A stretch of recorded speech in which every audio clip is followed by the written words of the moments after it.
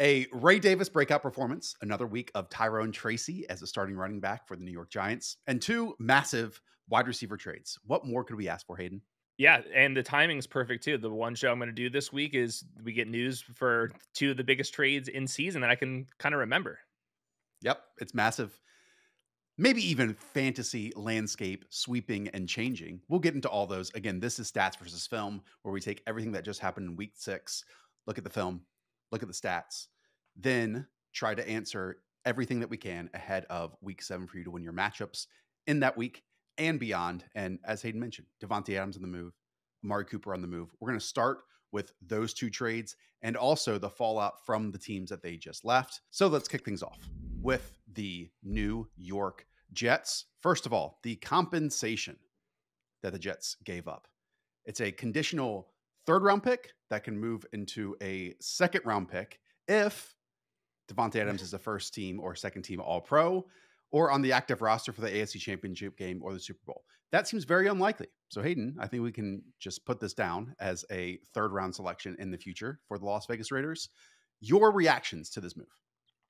Well, it, makes Mike Williams expendable, so we'll see if he gets traded shortly as well. But I thought last night, even though that they lost, I thought the Jets offense looked the best it had uh, in the last couple weeks. The offensive coordinator change I thought really made a difference. They were able to run the ball. They got Garrett Wilson going, Al Lazard, of course, on the Hail Mary. So everything was kind of cooking, except when they got into the red zone, they could not finish drives. But I think like the big part here is just Davante Adams' chemistry.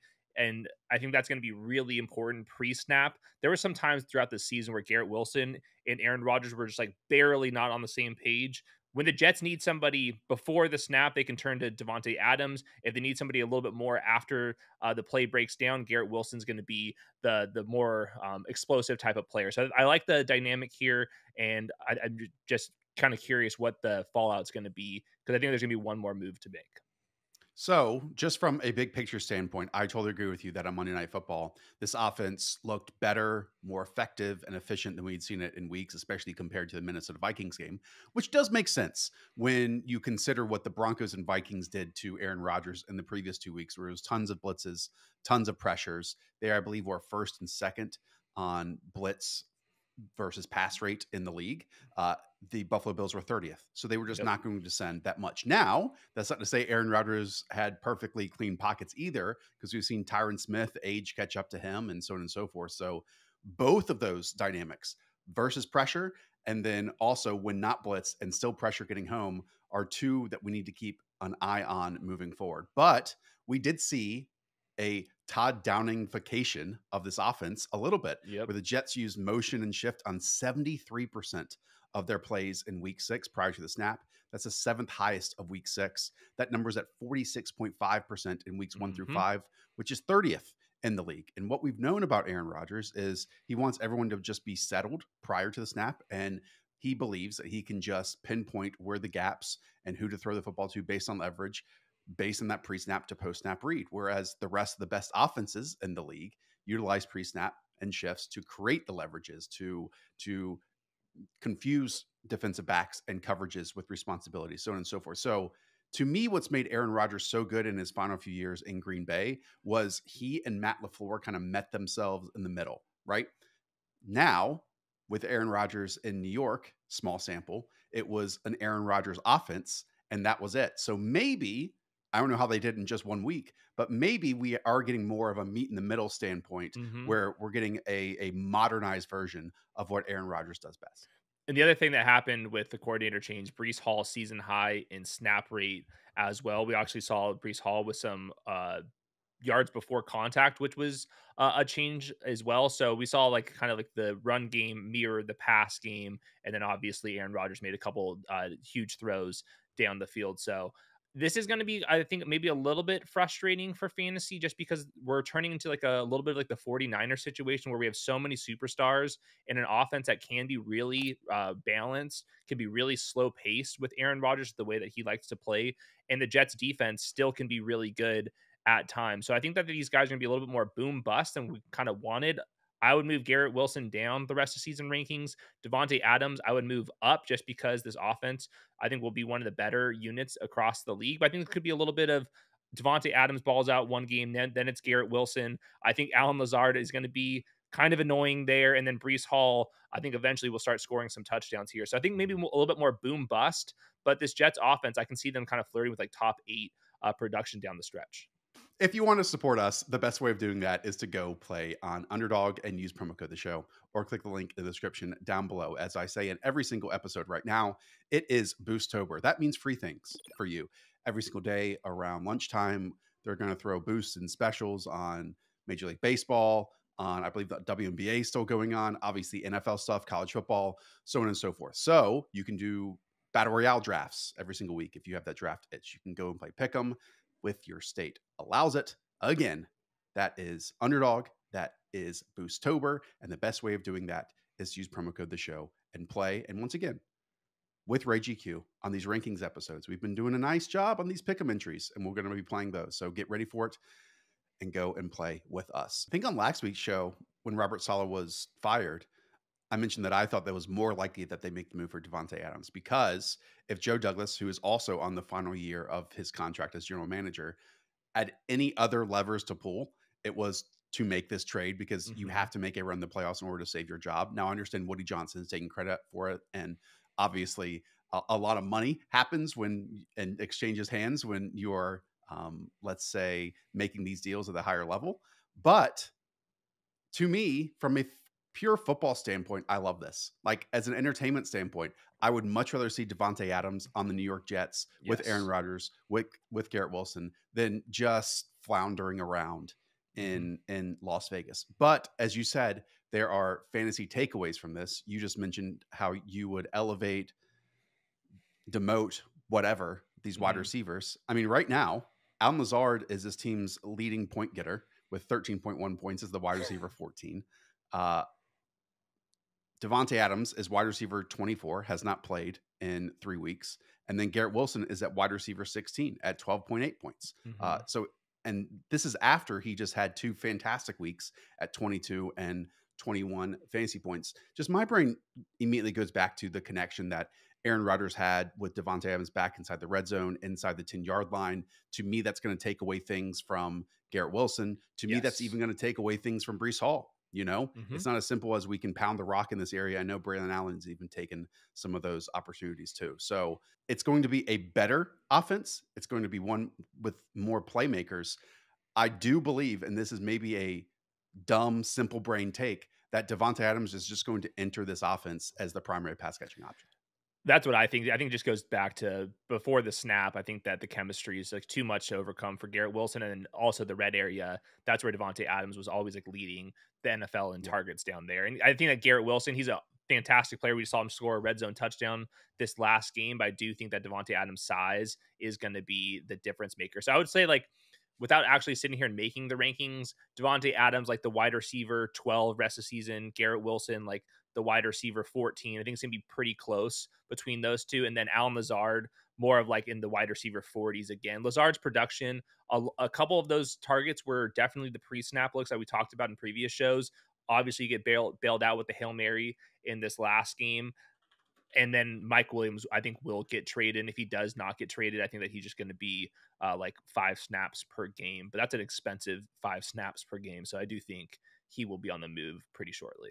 One year, $10 million with 8.6 of that guaranteed for Mike Williams. Shout out mm-hmm. to you. Mm-hmm. That's a big W. That's a big W to get paid for. But but with him, the Jets are eating a bunch of that that money. So a team oh, that doesn't have a lot of caps cap space could trade for him. So like teams like the Saints and the Chiefs that are pretty tight against the cap they could make a move for Mike Williams because the Jets have already dished out the money. Yeah, I'm just looking quickly. My favorite stat the red zone touchdown success rate of the New York Jets. Right now, they're 18th in the league at 53%. So hopefully that is one area that can continue because mm-hmm. this team doesn't run with a lot of pace. You know, they're yeah. kind of slow and methodical, and Aaron Rodgers being the ultimate point guard, which now it's going to be even better for him to do that. So jumping up from, I don't know, 53% red zone touchdown success rate to around 68%, which is where the mm-hmm. Buffalo Bills or the Minnesota Vikings are at, would make a massive, massive difference for this team. Okay, let's quickly go in the opposite end of this. The Las Vegas Raiders. We know that their season's basically over. It was Gardner Minshew and Aidan O'Connell and then Zamir White to Alexander Mattison, so on and so forth. They are just no playmakers, including now Christian Wilkins out for the season too, most likely. So what what do you want to say about them just moving forward?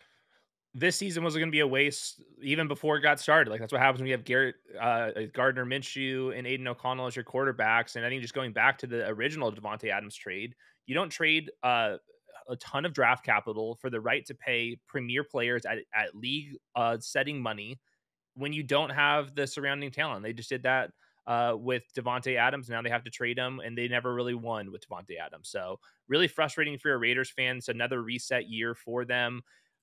The immediate takeaway: there's two of them. Number one, Brock Bowers. He's already established as as one of the best tight ends in the NFL, even though he's a rookie. It's only been a month and a half here. He has on-off splits with Davante Adams, 11.3 expected points in the games without Davante Adams. I think that number is going to increase even more, and I think that he has a chance to be uh, somewhere in the mix with Kelce and uh, Kittle for like tight end one overall down the stretch here. They have nobody else to throw the ball to, especially when Jakobi Meyers dealing with that ankle sprain. But Jakobi Meyers also going to be somebody heavily, heavily involved. He also had some on-off splits, so I think the ball is just going to go to those two guys, and I think those two guys are going to be every week starters. Yeah, Brock Bowers' stuff is going to be bananas, and if you go mm-hmm. back and actually watch his stuff, he was a legit wide receiver in this yeah. game. I mean, they yeah. they used 12 and 13 personnel, but he was rarely attached to the the line of scrimmage. And when he was, it was chip and release and then get onto his mm-hmm. routes. Mm-hmm. There are so often that they're basically running two wide receiver routes with one guy on one side and him on the other, and then asking him to win in man coverage. Uh, that's usage you don't Rare. get nearly yeah. anywhere else at the tight end position. And yeah. that's awesome for us. Uh, I know that he had weeks of tight end 15 and tight end 23 stuff in weeks three and weeks four. Other than that, it's been tight end five, tight end four, tight end two, and tight end eight stuff. So uh, yeah. yeah, keep it up. It's the Rams this week too, which was the team that was trying to trade for him on mm-hmm. draft night and can't guard anyone. So Brock yeah. Bowers to the moon this week. Definitely so. And then yeah, quickly on on Jakobi Meyers, he's he's just somebody that like has earned a bunch of targets on bad teams previously, and he's been a wide receiver three. Uh, I think that he's going to be locked into like starting lineups for the rest of the season as well. Buffalo Bills made a big move. Let's bring it up here. One sec, since I have to find this. Buffalo Bills made a big move by everyone's reporting. The Bills are trading for Browns wide receiver Amari Cooper they are sending a sixth round, excuse me. Let me redo this, please. Three, two, one. Buffalo Bills made a big move, trading for Amari Cooper. Buffalo gets Coop plus a sixth round pick in 2025. Cleveland Browns get a third in 2025 and a seventh in 2026. Uh, one, how dare they push the Ray Davis propaganda down about five minutes in this conversation? right. But two, I understand that ESPN has charted in their analytics with Amari Cooper literally being the worst wide receiver in the league. To me, that is such a team stat. And we are about to see how much environment plays a part in just average to above mm-hmm. average to maybe even good uh, wide receiver play. I'm not saying as an individual, Amari Cooper has been outstanding this year. But I also believe that we can factor in a whole bunch of things with understanding that you're playing with Deshaun Watson on a weekly basis, where maybe your best outcome and your best performance is not going to be put in a football mm-hmm. field because of that. Yeah, if you guys have worked somewhere where you didn't want to actually show up to work and your performance declines, that's understandable. I think that's exactly what happened with Amari Cooper.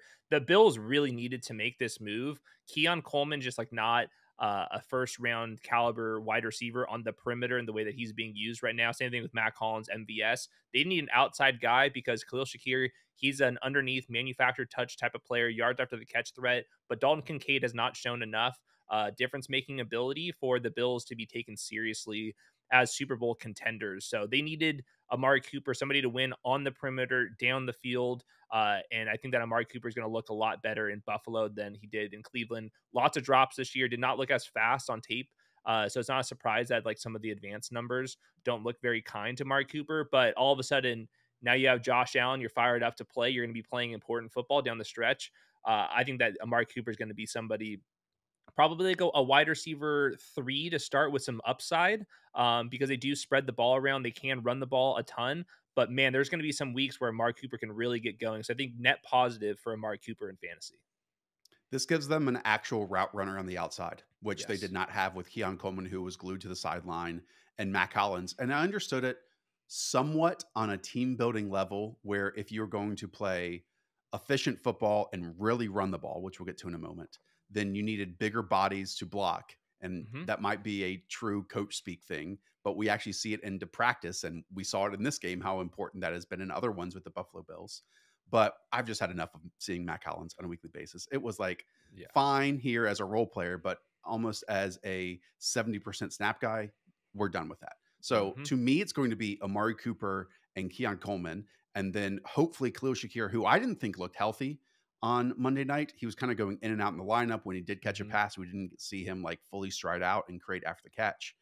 But Hayden, this destroys to me the theory of the plays of people like Dalton Kincaid, for example. Yeah. And sure, maybe they're going to be more scoring drives and things of the sort and just better all team success uh, with Amari Cooper in there, even though that the Bills are pretty dang good at that already. Exactly. Um, but Dalton Kincaid's the entire theory of that pick was hey, can he become the volume sponge in this offense? Can he potentially lead all tight ends and targets because they really didn't yep. have that guy?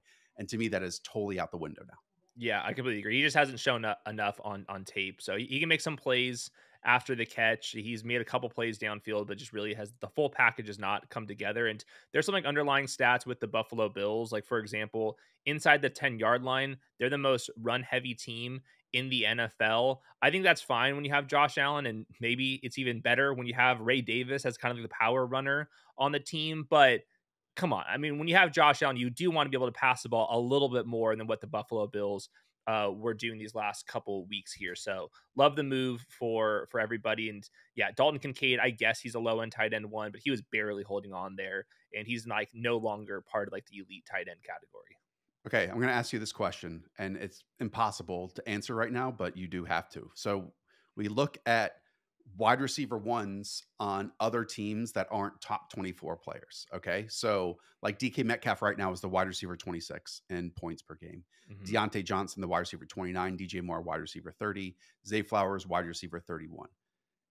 Could you envision Amari Cooper finding himself in that zip code? Mm-hmm. Or do you think yeah. it's closer to someone that's further down the list? Because right now, like Khalil Shakir, for example, is wide receiver 39 yeah, I think he's going to be clear the Khalil Shakir performances just because the way that they were using Shakir was like largely behind the line of scrimmage or like short uh, crossing routes. And I think that the Bills offense can do a little bit more with Amari Cooper. But yeah, those names that you listed, like DJ Moore, uh, like some of those wide receivers that deal with some target competition on more balanced offenses, I do think that's where he kind of slides into me. But he does need to play better. If like Amari Cooper yeah. is actually cooked, and what we saw from this year is just like the reality of Amari Cooper in 2024, then that's not going to work out either. So I think more boom bust wide receiver three, but for the production that we're getting from Amari Cooper on the Browns, uh, I still think that this is going to be an upgrade uh, for them. I'm not going to sit here and say Amari Cooper's been good. Uh, I also believe Jacob Gibbs pointed out that Amari Cooper had 26 catchable yards in week six playing with yeah. uh, Deshaun Watson, and the team as a whole had like 66 catchable yards in that game. So environment just plays a part I, to yep. me in all of these big picture analytics and stats and mm-hmm. metrics, and uh, it's going to be a sizable shift in my opinion. Okay, now to the main course, Ray Davis the preseason crush hits in a big, big time way. James Cook does not play due to a toe injury. So we get 20 carries for 97 yards, three receptions, 55 yards, including that beautiful, let's just say textbook catch yeah, of 42 sure. yards down the field for Ray Davis. Uh, simple question here, Hayden. Does this performance chew into the bigger, massive pie that James Cook had already mm-hmm. taken on this season that I didn't expect him to. I think so. I I don't know why it wouldn't. They drafted Ray Davis to kind of be that Damien Harris, the Latavius Murray, all those big power backs, and keep James Cook a little bit fresher, where he's maybe closer to 15 touches per game. I think that uh, James Cook is going to be used in the pass game. That's where he's been really efficient. They can use James Cook on the perimeter. But as we saw last night, they wanted to get Ty Johnson the ball early on in the game. And then they said, enough of that. Ray Davis has played himself. Uh, he just runs really hard. You know, he's kind of yep. got that like shorter, uh, stockier build, but he runs really, really hard. I thought that he looked a little faster than maybe what we were kind of expecting. And all that's good stuff. And then he catches that pass down the field as a little bit of a cherry on top. So I think that it's going to be maybe difficult for Ray Davis to be like an every week starter, but in terms of like the handcuff ceiling, like yeah, Ray Davis is going to be somebody that we should definitely take serious. And I do think that James Cook, you might have to move him down just one tier because Ray Davis I thought was like too good to kind of hide away. Not to put you on the spot, but do you have the running back usage charts for the entire league out there? Because I would love to see where the Buffalo Bills are. Just from a stylistic standpoint, thunder and lightning, a very traditional way of describing a backfield. I mean, could we not get a lesser version of David Montgomery, Jahmyr Gibbs here with Ray Davis and James Cook? Again, James Cook has owned this backfield. It was very cool to see him get I 10 inside the 10 yard line stuff. Now, once again, the reason why the Dave Montgomery, Jahmyr Gibbs stuff works is because look at where they are in running back usage, averaging 26 backfield points per game. Uh, but the Buffalo Bills are what that would put them almost around 14th in the league, 15th in mm-hmm. the league at 20 fantasy points. So it's midway through the pack. But to me, that would be a massive loss for what James Cook has opened up the season and would kind of transport him back mm-hmm. to what he was last year, which was again a really talented runner, but more a between the 20s style. And if he loses touchdowns, that puts him back in like that running back 18, 19 range yeah. versus a top 10 score of the position the difference between the Lions and the Bills is Jared Goff's not trucking dudes and doing Superman stuff inside the red zone. And those those rushing touchdowns for Josh Allen, like we saw saw them uh, do the tush push with Josh Allen. You're not seeing J- Jared Goff do that very often. So I agree. Yeah, James Cook, I removed uh, the injured games. He's been the running back 15 and running back 18 usage this last month. Um, I think that's probably the closer to his upside. Now he can rip off a long touchdown, so James Cook's still a, a, an every week NFL fantasy starter. But yeah, I mean, why not give the ball to Ray Davis six, seven, eight times per game, even if it's just like on like the it's third and one, we want to just run duo right up the middle. I think that Ray Davis may be a little bit more uh, suited for that type of role. And I'm not trying to be a hater. James Cook has not been bad this year at all. He's been the running back nine and points per game. Uh, but this was the theory of the play where I thought that Ray Davis's running style just kind of fits where this rushing attack was going under Joe mm-hmm. Brady. And mm-hmm. if he got mm-hmm. the opportunity, he was going to make good on it. And he definitely did that. So, again, even just eight carries, and especially if they were in certain areas of the field, that would diminish. James Cook's rest of season value. But it might not. Like, it might not happen. So, mm-hmm. we have no yeah. idea. Also, real quick, Ray Davis, like, such a cool story, like, so easy to root for, legit homeless. Yep and now like taking it full advantage of his opportunities. And it was like the one of the first runs of the game. You're like immediately like, yep, that's that's an NFL player right there. Let's now go to the Cleveland Browns end of this equation. This was a tweet from Ian Rapoport. The Browns restructured Amari Cooper's deal before the season, making an easy contract to trade. Now he lands in Buffalo as a new target for Josh Allen. Uh, simple question here with Cleveland. What is this offense now? Like they know it's over, yet they're yeah. going to continue to trot out Deshaun Watson on a weekly basis for now. I, I do think that this is maybe a little bit of a signal that they are completely punting off this season and, and, like their cap structure for the next couple seasons. So maybe they uh, eventually turn to Jameis Winston. My main takeaway here is I've been promising you guys David Njoku fantasy points, and he's been dealing with some injuries. He's been dealing with Deshaun Watson, but the takeoff from this point forward for the rest of the season is fantastic. And we actually saw this late last year when they went to with uh, with Joe Flacco and David Njoku finished as a tight end one overall for like the last like 12 weeks of the season. I think that we could be getting to that point very quickly. Jerry Jeudy's not a target earner. You can't sell me on any of these other guys, Elijah Moore, Cedric Tillman. Those guys aren't going to be in the mix. David Njoku had a season high in usage last week, even though he was dealing with two different injuries if we do get Jameis Winston shortly, I do think that David Njoku is going to be a player that you definitely want to be trading for, and you're actually going to be thankful that you drafted, even though it's been a really slow start uh, for reasons that he had no control over. We theorized this on the Instant Reaction Show on Sunday night. Nick Chubb may be playing as early as this week or next week. Do you think there's any chance, based on how his quarterback is playing right now, based on how the season is going along, based on it being a mission impossible task to score 20 points on offense at this point.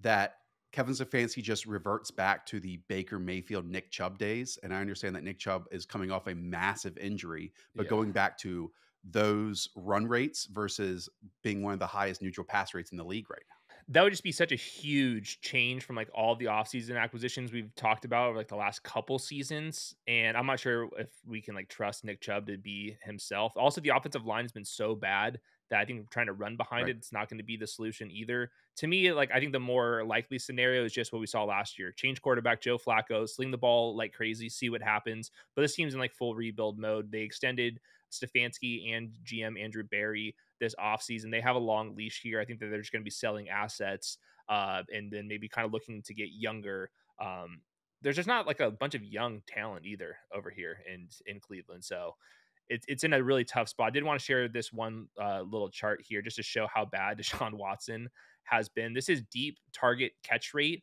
The NFL average are around 45% everybody is in a tier above except Deshaun Watson down here, like at 22% of his 15 plus air yard targets uh, have been caught this season. So just beyond brutal down the field. One w- way to uh, work around that, throw the ball to David Njoku in the screen game repeatedly.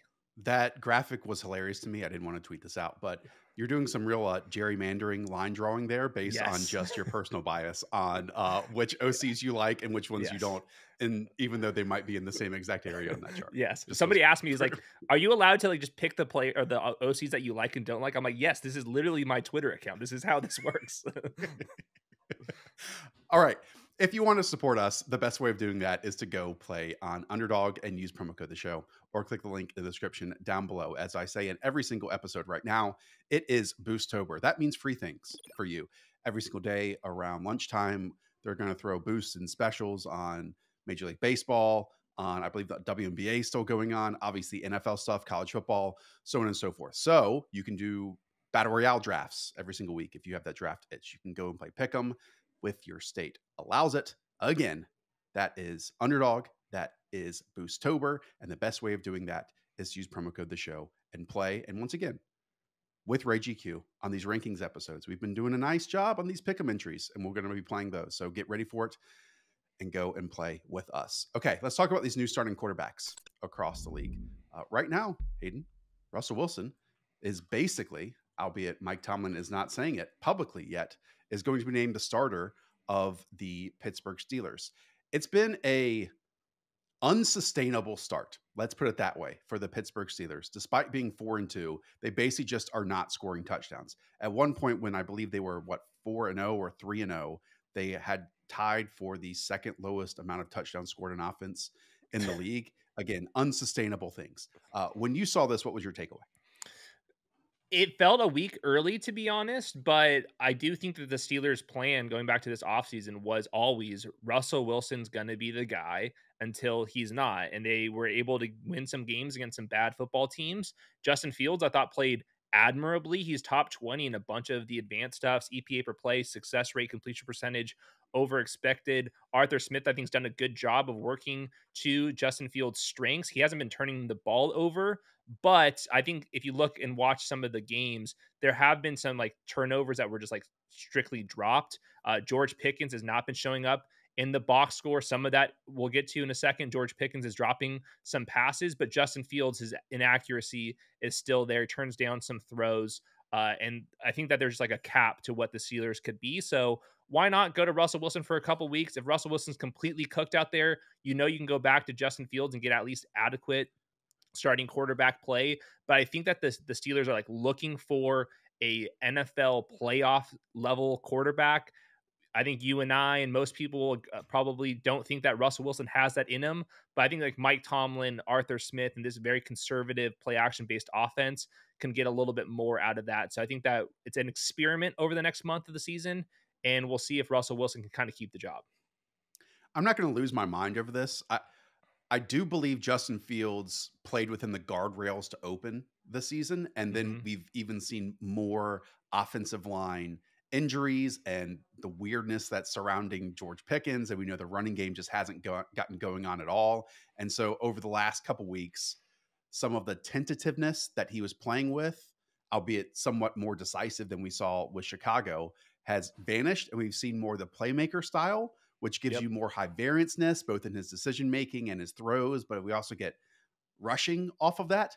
I will add this past week against the Las Vegas Raiders, there were a bunch of broken pockets and free rushers, and he was able to evade those and create mm-hmm. something. Uh, Mike Tomlin was asked about this. Hey, now I don't know if you saw this quote. Uh, he was asked if Russell Wilson has the ability to escape the rush the way that Justin Fields did against the Raiders. Point blank, he said no, he does not. Uh, yeah. so, yeah. and they just lost their starting center in Zach Frazier. Yeah. Um, this we, we already know they've been losing their starting left tackle, who was a rookie or starting right tackle, I should say. Anyways, it's I don't know really the upside that Russell Wilson is going to give an offense here in 2024. I've I've heard from fans out there that maybe they're proponents of Russell Wilson that well when you package Russell Wilson's entire career, it's really good stuff. The the let Russ cook movement in the last 2 years has just been real bad because he's gotten right. older. He he can't move as well as he used to. Mm-hmm. And when you just drop your eyes and do the hokey pokey in the pocket and then launch vertical passes, to right. me, that like tanks the structure and the plan of the offense. And to me, that means we're only going to get this experiment for one or two weeks if it doesn't work. And mm-hmm. it can be that quick of a hook if, if it doesn't work. The the stat that I, I came across is just Justin Fields play action. He's averaging five yards per attempt uh, the league average is way higher than that. And that's kind of, I think, where they're looking for Russell Wilson, where I, I, agree with you. Like out of structure, when the play's breaking down, Russell Wilson's not going to be providing you with that stuff. But I do think that the Steelers are looking at their team. They're saying our defense is one of the best in the entire NFL. And if we can just get some play action shots down the field to George Pickens, that's enough for us to at least be breaking into the 20 points per game conversation. So I, am calling this an experiment. I don't have like strong takes with Russell Wilson. If, if his calf injury is bugging him still and he's like even less mobile, that's going to be a problem. But I do think that there was enough uh, missed throws to George Pickens this last week. I counted at least three of them where we could have been uh, moving the chain, scoring touchdowns. And I do think like that was kind of the difference for for uh, Russell Wilson to get a shot. But I do just think the old traditional media members in Pittsburgh this entire offseason were saying they want sure. Russell Wilson to not just be the guy this year. He's a captain, they, is he not? Yes, they think that he can be the guy moving forward. Period. So. They just like have a different outlook than we do uh, from the outside. Again, my fear coming off a calf injury, already the lack of mobility that we've seen from Russell Wilson. Now playing behind an offensive line that I believe they're going to miss Zach Frazier, Troy Fautanu, and already lost James Daniels at the exact same time. So you're going to ask Russell Wilson to be more of a pocket quarterback and play on script and on schedule uh, to this wide receiver group doesn't look like it's good news yeah. to me, you know? Yeah. So, like, I understand that in the first three weeks with Justin Fields, we had zero turnover worthy plays. In the last two weeks or three weeks, that has definitely changed and that has definitely yeah. gone up. But to me, and the idea of it was you can always at least coach around and with the athleticism that Justin Fields mm-hmm. brought to the table. I'm not sure exactly what you know you're getting from Russell Wilson, but we're going to find out in the next one to two weeks. Yeah, I would just say like downfield accuracy off play action. Like that's what I think that they're going to deliver. We'll see if if that's enough here. Did want to shout out real quick. Went back and watched this game. What was Najee Harris eating this last week to make him absolutely take off like that? I mean, that was like one of his best games ever. And those were coming off of a brutal first five weeks of the season. Like when he turned the corner and extended for that diving touchdown, I was like, who the hell is that? So uh, shout out to Najee Harris. And then uh, other thing, like Jaylen Warren, I mean, like just like not a part of the offense like at all right now. So that was kind of surprising to me. Did you make your George Pickens points? I might have tuned it out if you did. I mean, just there's a couple drops. He had one that should have been a touchdown. He had one of the most hilarious whip routes that you'll see where he ended up getting the the first down after like a secondary move. Um, but yeah, he was just missed on a couple scramble drills and like that big crossing uh play that should have been a touchdown. Just Justin Fields like just missed him. So Pickens is like the wide receiver eight in expected points this month, but he's wide receiver 56 in actual points because he's not playing well. The Steelers aren't playing well, and that's why you give Russell Wilson a shot here. No, I, I mean, I don't want to look at the Russell Wilson move through the lens of, hey, we got to get George Pickens involved in this offense. Well, Pickens uh, might get ejected every game if he doesn't get the I know, ball. That's what I mean. More. Like so that's a problem. I, I, mean, if we rewind back to Week Five, it seems like Mike Tomlin didn't want to build anything out of the George Pickens this, experiment. It's true. Uh, this is just a note. George Pickens in contested catches in his first year in the league, 19 of 28 for 68 percent. These last two years, it's 11 of 36 for mm-hmm. 31 percent. Now, as Jon Ledyard points out, this is just by the charting and the eyes of the person that's doing it at PFF. As we know, especially with draft prospects, contested targets are not equal depending on every single person who watches said contested target. But that one with four minutes left in the game where it was perfectly back thrown, back shoulder thrown pass. Uh, that's the play that George Pickens has to make him to score a touchdown. So you can mope, you can do all this stuff and not run your routes at full speed. Then when you get your opportunity in the fourth quarter to actually score a damn touchdown and you drop it, that's on you, bud. I agree. That's on you. Okay. We had two new starting quarterbacks this past week. Let's kick things off with the New England Patriots. Drake Maye, athlete. It's exactly what we wanted to see. I'm just hyped that we get a player like this in the league. It sucks that he's surrounded by his supporting cast, but man, he's fun. He can be electric, and he's actually going to make these games more entertaining he's just big, powerful, and fast. And you saw some of the scrambling. You saw a couple second chance opportunities uh, for Drake Maye, and like that was the upside case. What we're talking about, where like in the pre-draft process, when he's like the upside case could be similar to Josh Allen. You can kind of see some of those traits in this first game. That huge touchdown, uh, one-on-one coverage to Kayshon Boutte uh, for a long touchdown. That was a pretty cool play. Um, and there's a couple scrambles where like he's just too big and powerful, and he's going to pick up first downs. That was one of the most important parts about his college profile was he scrambled a lot, but he was also yep. very efficient when he did scramble. So he wasn't doing this uh, like like to like the detriment of the team. He's picking his spots and he knows how to do it. Unfortunately, this Patriots offense is just like so bad. The offensive line's terrible. Their wide receivers were really bad. And this offense runs so many just like hitch routes. Like they're so static. There's a lack of speed everywhere. So I think it's going to be pretty hard to have a sustainable offense, but you will see some peaks from Drake Maye. You also see some valleys from him because a lot of missed throws in this game. Accuracy, I thought, was a problem going back to college, and he did miss like five or six throws that easily could have been chunk gains for him and you'll see that throughout, I think, his rookie year, maybe beyond, where yep. even some of the catches that were made were behind his pass catchers, above them, they were reaching, and that just destroys YAC opportunities. And then that's not even to mention the oversale for a interception. But like that's okay, you know. I don't think we're at this point where we should nitpick, you know, a rookie's first performance and say this is just who he's going to be the rest of the way. It might change a little bit. It might not, but it might change.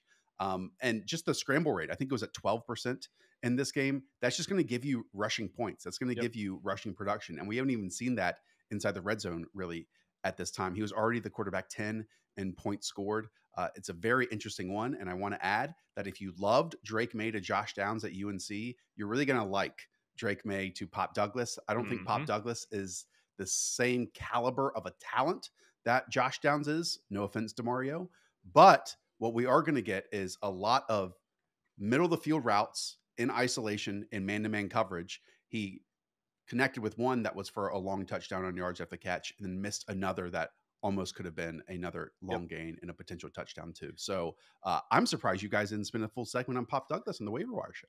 Yeah, uh, I hadn't watched the the film of Pop Douglas at that point, and I, I saw the same note. Like he could have had a longer second uh, a touchdown if Drake Maye put it on him. But he's to me like easily the number one wide receiver easy for the Patriots, like very easily. Uh, we're chopping names off the list. One uh, wide receiver I'm willing to chop off the list right now, Ja'Lynn Polk. He just creates no separation. Like there's like no pace to his game, like in terms of his athleticism, but also just like off the line of scrimmage. There were so many opportunities for uh the Texans. Like the Texans were embarrassing the Patriots wide receivers by playing like cover one, press man coverage, no safety help, repeatedly daring these wide receivers to get open. One of them was able to do it repeatedly. That was Pop Douglas. Ja'Lynn Polk dealt with a couple drops, got clamped up for the entire game. So I think that Pop Douglas is going to be the wide receiver that we should trust. Everyone else becomes irrelevant. And I hopefully Drake Maye could uh, start converting on some of these like easy targets to Pop Douglas over the middle because I think that Pop Douglas is like turning into like a, a PPR scam wide receiver three, yeah. wide receiver four because I just don't trust any of these other cats to get open. Yeah, it's the year of the PPR scam wide receiver in Pop Douglas and Wan'Dale Robinson and Malik Nabers on top of it. So all three of those it. guys, PPR scams. All right, New Orleans Saints also started a new quarterback. We know Spencer Rattler stepped in there. Uh, a great first half, a tough second half. Yeah, but it gets even more difficult now heading into Thursday night football for him. He's not going to have Chris Olave. He's not going to have Rashid Shaheed. Just tough sledding here. But at the very least, we talk about confidence all the time with these young guys. I do believe Spencer Rattler has this confidence. Yep. And it might stem from what he's had to overcome during his collegiate career. We know he started Oklahoma, got benched there, moved on to South Carolina, then a later round draft pick, so on and so forth. So he's a gamer, and I actually felt like mm-hmm. We see across the league these offensive coordinators not changing their styles based on who's at quarterback. Klint Kubiak did even more so, leaning into the movement of the pockets, the play action, getting him out in space, and letting a young Spencer Rattler mm-hmm. utilize some of his athleticism. Yeah, I saw the same thing. I think that in the early part of the game, there was less pressure on him, and you can see like the play action based offense that we want to see from New Orleans. But he, the scoreboard got wonky on him. He throws that ball to Chris Olave, concussion, fumble six. That's not going to help him out. He had a couple plays that were called back uh, because of penalties. Uh, there was a, a, key drop in there, but I think the best of Spencer Rattler is you can move him outside of the pocket. He's going to scramble around a little bit. There's nothing like crazy about his athletic traits that like pop off. I don't think his arm strength or accuracy is groundbreaking, but he does have that little bit of that gamer to him. So like, is he Taylor Heinicke plus? I think like that's kind of like the starting point, but maybe there's a little bit more to him. And I think that with Derek Carr out for the next couple weeks, we'll be able to see uh, maybe a little bit more in structure stuff when you know they're not giving up 50 points on the other side. But man, like losing your two best wide receivers for this game, yep. you're already down a million offensive linemen as well. I mean, he's dealing with absolutely nobody, and now you have a short week against a, a, a defensive coordinator that's going to be willing to get after it. It's not going to be a pretty showing uh, for Thursday night football. This is the Nick Underhill graphic that he put out. Again, weeks one and weeks two were unbelievable for the New Orleans Saints. Granted, they played the Carolina Panthers and the Dallas Cowboys in those first two weeks.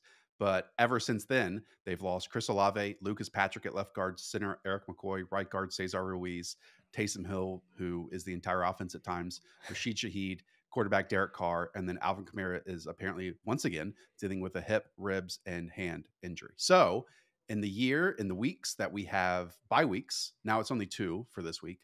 Uh, who was going to step up here? And the two names that kind of popped up, if you really are desperate to play, are Bub Means and Juwan Johnson's back in our lives. Mm-hmm. I would mm-hmm. even go as far to say I would prioritize Juwan Johnson more so than Bub Means, um, especially considering the tight end position. He was heavily involved, a lot of middle of the field over routes, and the timing I thought between those two guys was very good. To me, Bub Means was more of, I mean, not a replaceable talent. I don't want to. He's listening to the, the show. Coming He's off his, his I don't want to insult the guy coming off, you know, his best performance of his career, but it was more of uh, timing based routes rather than I'm going to create a whole bunch of mm-hmm. separation mm-hmm. and beat my man in isolation. Yeah, one of my favorite plays from the Spencer Rattler, there was like a designed uh, ball to the flats. I was completely covered up, and then he goes to like the deeper concept for the the, the touchdown. You don't see like low to high progressions, but Spencer Rattler was able to do that. Uh, we'll see if Taysom Hill plays on, on, a short week here, dealing with that rib injury. But like this would be the most classic Taysom Hill gets out of there with like 10 opportunities game with everybody else pretty injured. So that's kind of like the name I would be paying attention to, especially if you have like tight end eligibility in your league.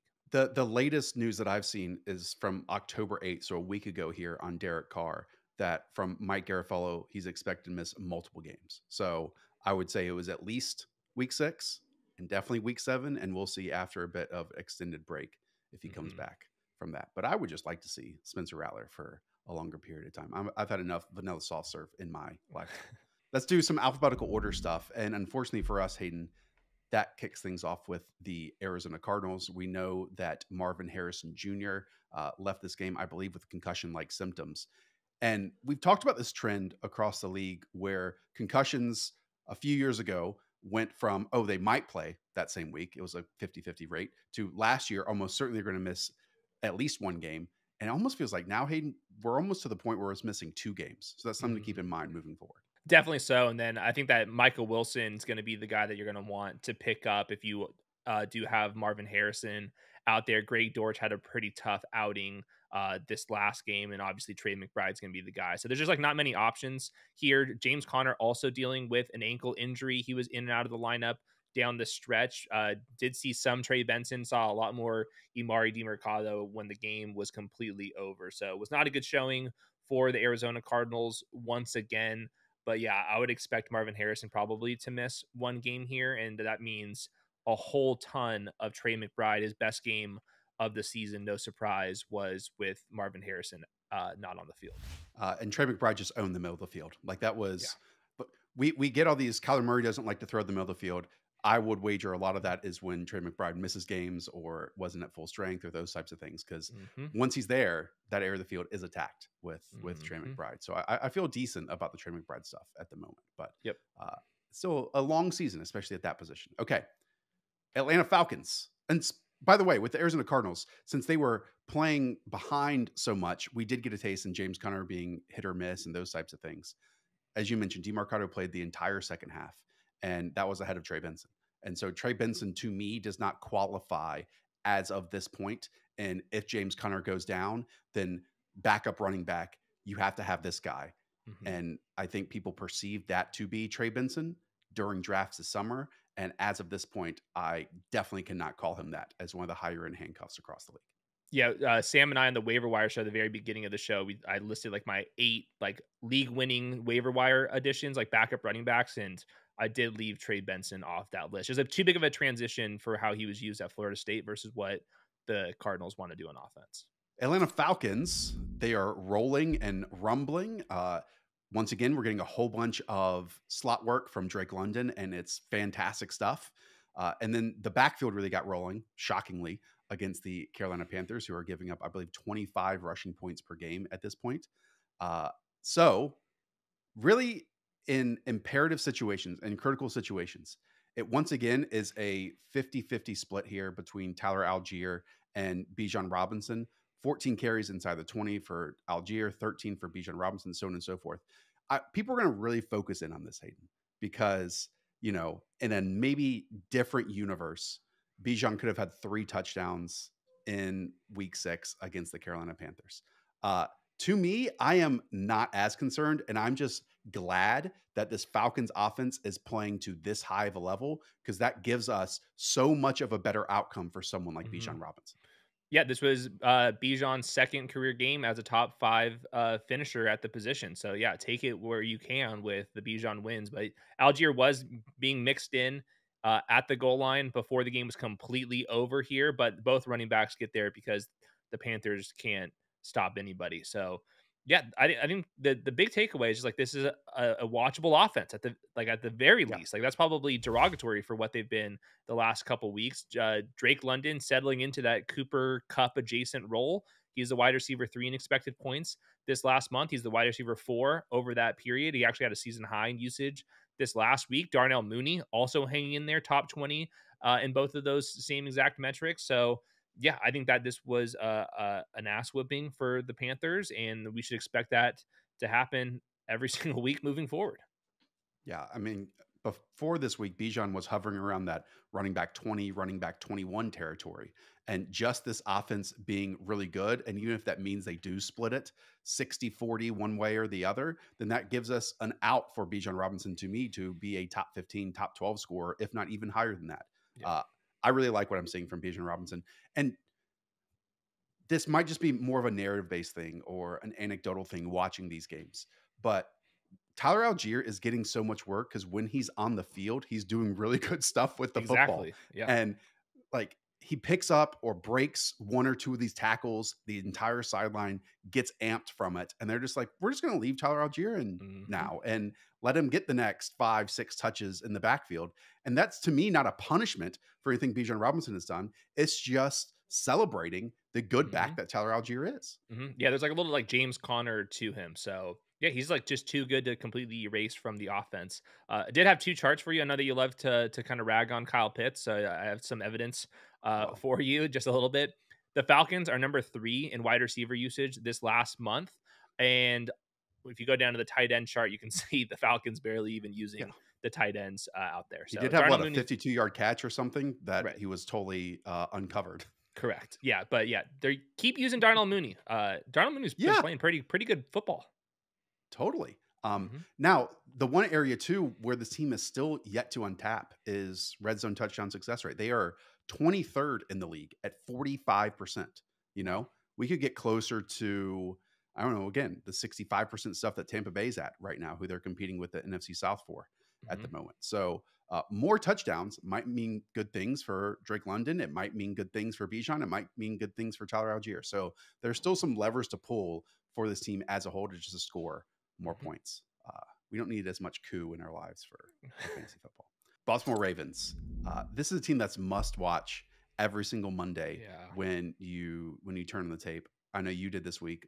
What'd you like from them? the I think the big takeaways is the wide receivers were doing real wide receiver stuff, and I say that in plural because Rashod Bateman, he's been one of the most efficient wide receivers on his targets in the entire NFL. He got open at will this last game, drew a couple of defensive pass interferences, but a couple nice wins against man coverage from Rashod Bateman. So obviously he's not going to be in the mix for fantasy, but I think that's good news for the Ravens as like Super Bowl contenders. And then Zay Flowers, the uh, very first drive, a huge gain off of a screen. He also has a sweep action for uh, another chunk gain, but really, Zay Flowers, it was just like dig route after dig route after dig route, shallow cross, man coverage, win, win, win, win. And we have we haven't really seen that from Zay Flowers consistently through the first two years of uh, being an NFL player. But I thought this was one of his best games, if not his absolute best game, doing the real wide receiver stuff. The caveat being this is the commander's secondary, but uh, nevertheless, Rashod Bateman and Zay Flowers, I thought those two were the standout players uh, in this game. Yeah, this came from Dan Pizzuta's work over on the 33rd team every Monday morning. Uh, five of Zay Flowers' nine targets came off of play action, and Lamar Jackson went 12 of 13 for 239 yards off play action in this game against the Commanders defense. Like Hayden, I, I know that analytics has told us that you don't have to be successful running the football to throw play action.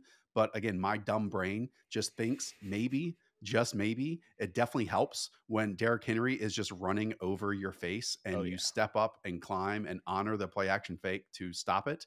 And then once again, when that happens, you constantly see Zay Flowers work over top of linebackers, underneath the safety, just running away from the quarterback that's trying to trail him into these cavities. And that's just Mhm. working over and over and over again. And what I loved, and it's exactly what we talked about with the Buffalo Bills, I believe, and what we talked about against the Dallas Cowboys, that Baltimore forced this Washington Commanders team into base personnel defense 25% of snaps. Previously, Washington, again with Dan Quinn, had been in base defense with three linebackers in the field on 1% of plays Yep.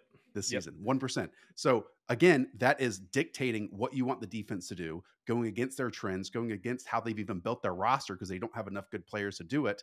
And that's how the Ravens are just demolishing Yep. these guys at the at the moment. the commanders actually changed their uh, inactive list based off of the personnel that the ravens used we saw that uh, from dan quinn in the press conference so really cool to see and then one little chart for you no surprise here but outliers are going to outlier look at Derrick henry on this chart this is like over the last month everyone's kind of like near their expected points like that's how a good model works and then there's the big dog way up here ripping off chunk gains once they get in the red zone uh, the ravens have one of the highest uh, run rates inside the 10 yard line. No surprise there. But man, like this team is really firing. And then last note here, just remember the days with Greg Roman, like when they would get in the pass game, there would just be like wide receivers and tight ends like right on top of each other. In this game, you saw Zay Flowers and Rashod Bateman. You saw Mark Andrews by by himself, completely separated. And I know like that that's not like saying a whole lot, but it's like a functional pass game. And uh, obviously Lamar Jackson's going to create on his own as well. So really impressive team, one of the best teams in the NFL. I don't know if you cited this when you're talking about Rashod Bateman, but Matt Harmon pointed out that I think 82% of his catches this year I've gone for first downs or touchdowns.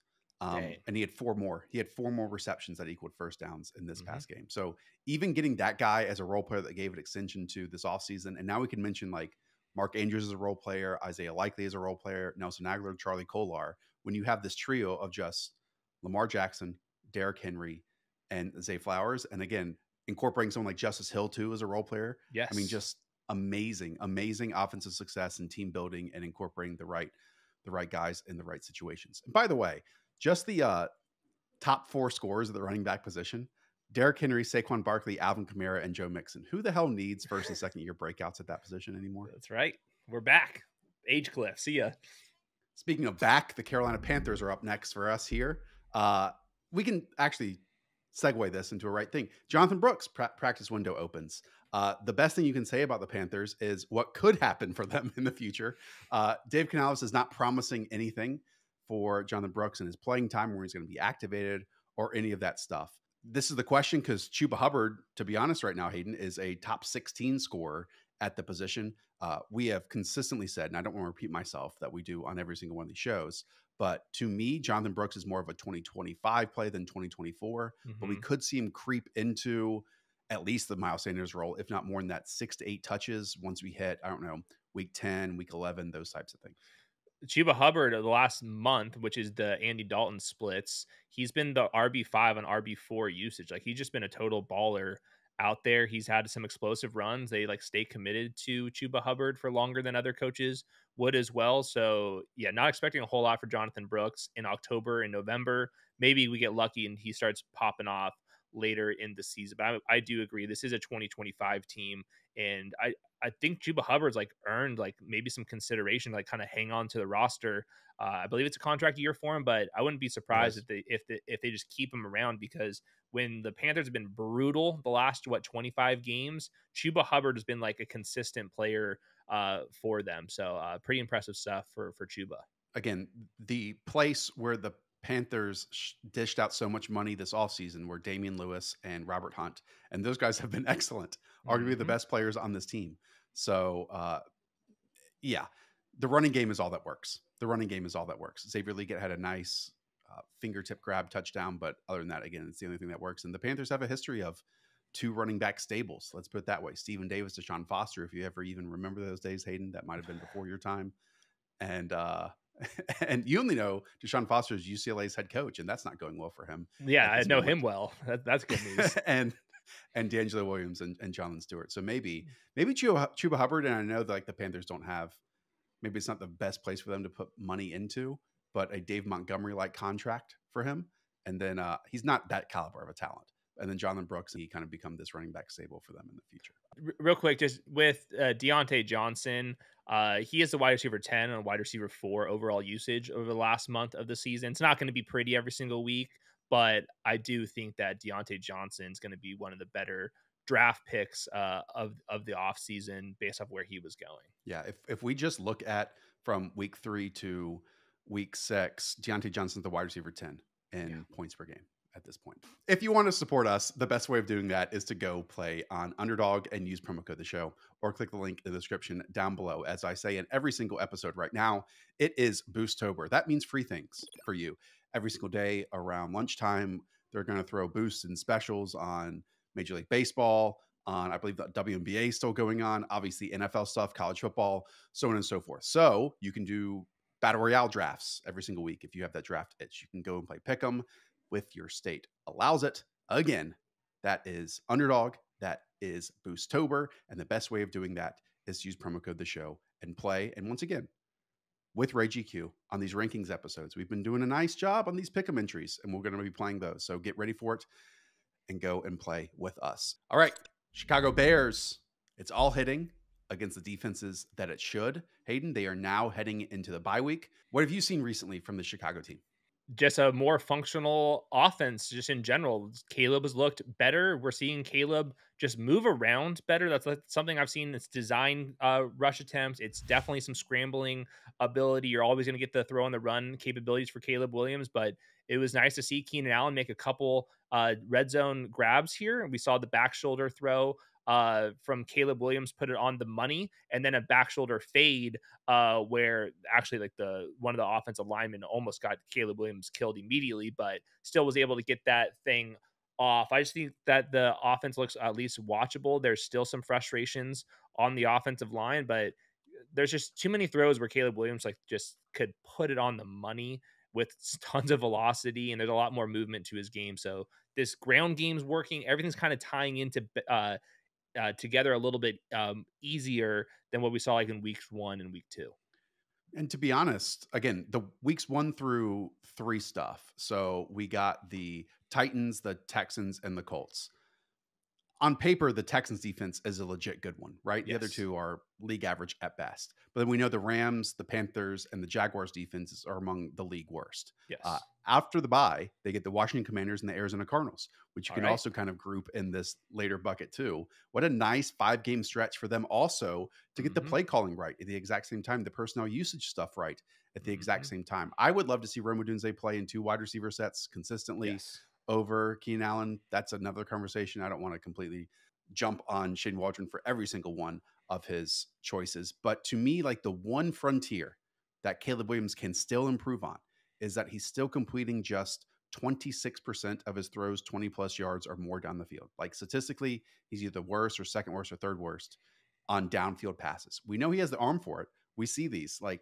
the way the ball gets there so quickly, it's pretty amazing. It's mm-hmm. not all just on him, but in the second half, the post by rookie bump for the quarterback, if we get even more downfield passing that is successful from Caleb Williams, then we're off to the freaking races yeah, that interception he had just like had the wrong club. So that's something he just has to work on. Uh, sometimes it's too much of a line drive. Sometimes the ball kind of just hangs in the air, but those were not issues at, at USC. So I do think that will get created. And then there's like one play design, which I've seen from uh, the 49ers at times. You have like pump fake left, pump fake right, and then Cole Kmet leaks out over the middle of the field. That's how he scored uh, that one touchdown. Saw a little bit more motion, maybe. I'm not sure if the, the numbers back me up, but just watching this game, a little bit more creativity, and we're getting the right guys on the field with Cole Kmet playing over Gerald Everett. So I think there's like lots of reasons to be excited for the Chicago Bears. This defense is also still really dang good. So I think this team's very much in the wild card race the defense is really outstanding, and that allows you to be in all these games. Again,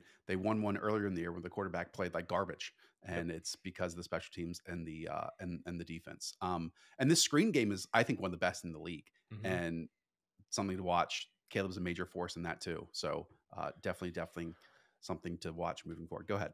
What about with DJ Moore? So uh, DJ Moore and Rome Odunze both season low in usage. Obviously, Keenan Allen scores the two touchdowns, but those were like kind of first read looks to to Keenan Allen down there. Is uh, like temperature check on these two players. I, I, it's like a little bit hard to kind of figure out. Like Caleb Williams has to be a total baller for all three of those guys, plus Cole Kmet, plus D'Andre Swift in the screen game to to be there. Like, are are we just going to be like kind of in the inconsistent range for DJ Moore?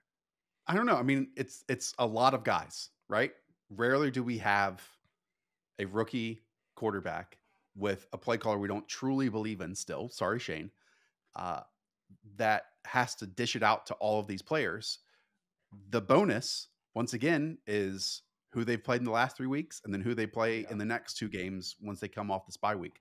I don't know how you look at your roster, Hayden, and you say, I'm going to bench DJ Moore against the Washington Commanders and the Arizona Cardinals. No, you know, so no, you just have to not. like, you just have to suck up the inconsistency that it might bring yeah. you. Yeah, I think same thing with Rome Odunze. I think Rome Odunze is probably still more of a bench play than must must yeah. play until we kind of see him in two wide receiver sets or in, until he kind of separates uh, from Keenan Allen. I am still optimistic about Rome. I understand that good. we're seeing all of these rookie wide receivers go off, right? You can throw, and we'll talk about him, Ladd and Brian Thomas, we talked about in the past, and there are a few others. But leave the light on, everyone out there. Leave the light on for Rome Odunze. Mm-hmm. This is when it starts to pick up, maybe a little bit more. Cincinnati Bengals. Hayden, we're, we're thrilled that you're back. Um, but I think we might have to welcome you to the Zack Moss funeral. Do you see that that way? So he he fumbles in the third quarter and doesn't get a touch. He was uh, only playing on third and long situations down the stretch, and this was a close game. And Chase Brown got all of the early down touches. Now the Bengals did go on a little bit of a ride there with Chase Brown down the stretch. There was one play where he bounced it outside for like a negative five yard loss. Uh, Chase Brown also fumbled after Zack Moss fumbled. The difference was Chase Brown's fumbled went out of bounds. So uh, he got lucky there, but obviously that touchdown run from Chase Brown up the middle, his speed is being showcased. So uh, we'll see if that was a one week uh, sample or one quarter sample where Chase Brown kind of separates. But Zack Moss, you can't be the slower running back and fumbled the ball, but it was notable that he was at least in pass protection out there. So uh, we'll see if, if Chase Brown goes out there and completely takes over the early down usage. Then yes, this was the the Zack Moss funeral. You can't fumble the ball if you're not the fastest running back on your team.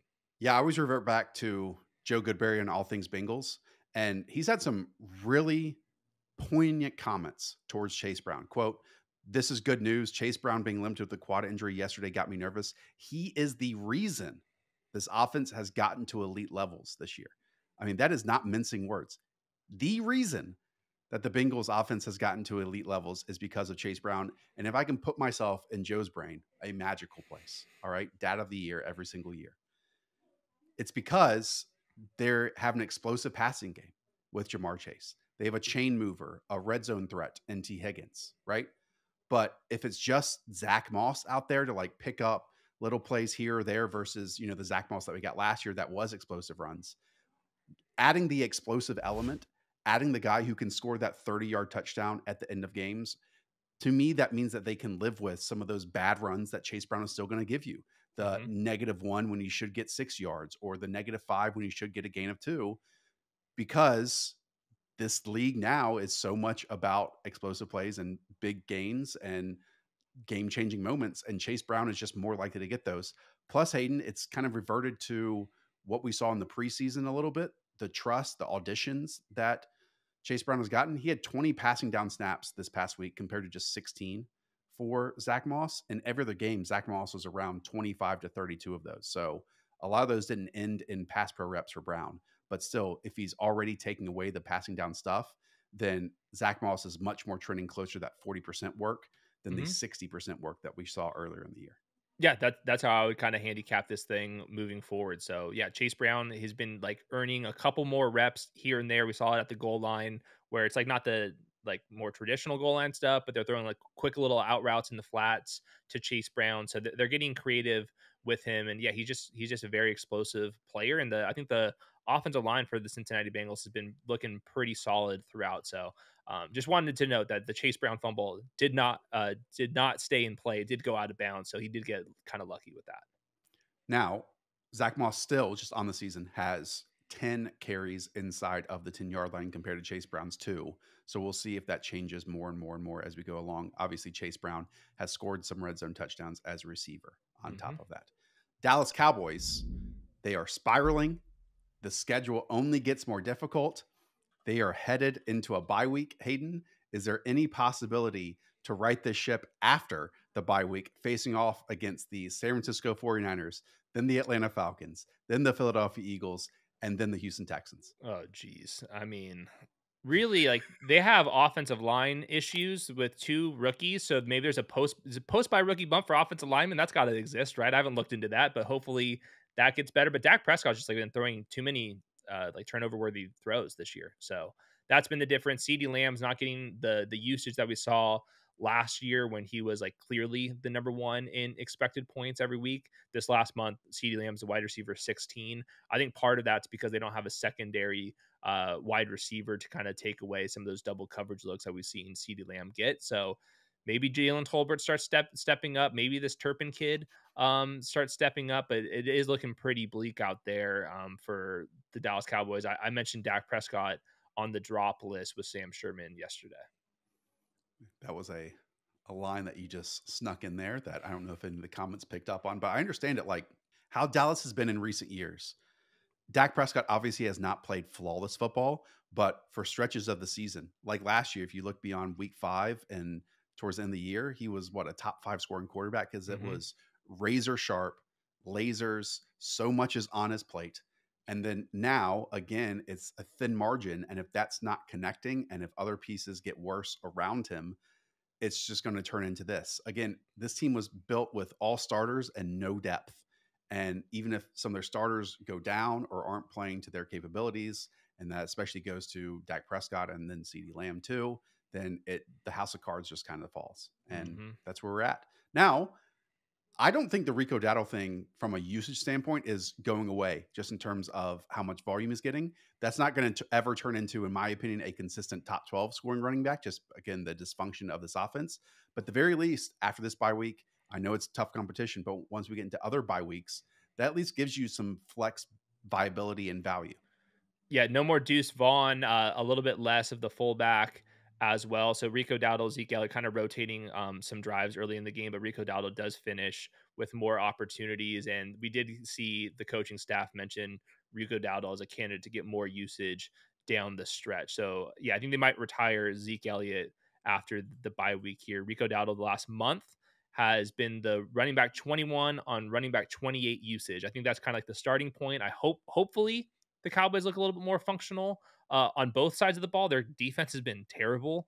Um, they're not like even trying to tackle at this point anymore. So Rico Dowdle needs the defense to play a little bit better, get off the field, and then Dak Prescott on the offensive line has to play better for Rico Dowdle to be a trusted RB two. I think the path is there, but I'm not sure if it's like the expectation. And on top of all that that we mentioned, the Dallas Cowboys are also 30th in red zone touchdown success rate at 37.5%, only ahead of the Miami Dolphins and the New England Patriots. That's it. Yeah. And they're turning the ball over down there too. Not a good combination. That's real bad. Can it get worse? Yes, it can. All right. Denver Broncos up next. I really don't have that much to say about this team. I don't have much to say. The all the Bo Nix stuff was in the second half. I mean, he had 22 right. yards at halftime. He is an awesome scrambler. And what that actually gives us is a useful fantasy player, especially in super flex leagues, because Bo Nix has eyes in the back of his head and mm-hmm. still doesn't get sacked as much as he should and other quarterbacks do. But Hayden, in a weird way, and you might hate this comparison, he's giving us fancy points in a somewhat similar fashion. At least it feels in the way that like Sam Howell was getting us fancy points last year. Yeah, I, I, think that's that's not too far off here. He at least has Courtland Sutton to kind of bail him out. That touchdown grab that he had was one of the best catches you'll see over the course of the season. Courtland Sutton, for fantasy purposes, this month, wide receiver 34 on wide receiver 15 usage. Like that's going to be the the the style play for Courtland Sutton. But they're trying with the rest of these wide receivers. Vele returns. He fills in for Josh Reynolds. You get Troy Franklin in the mix a little bit.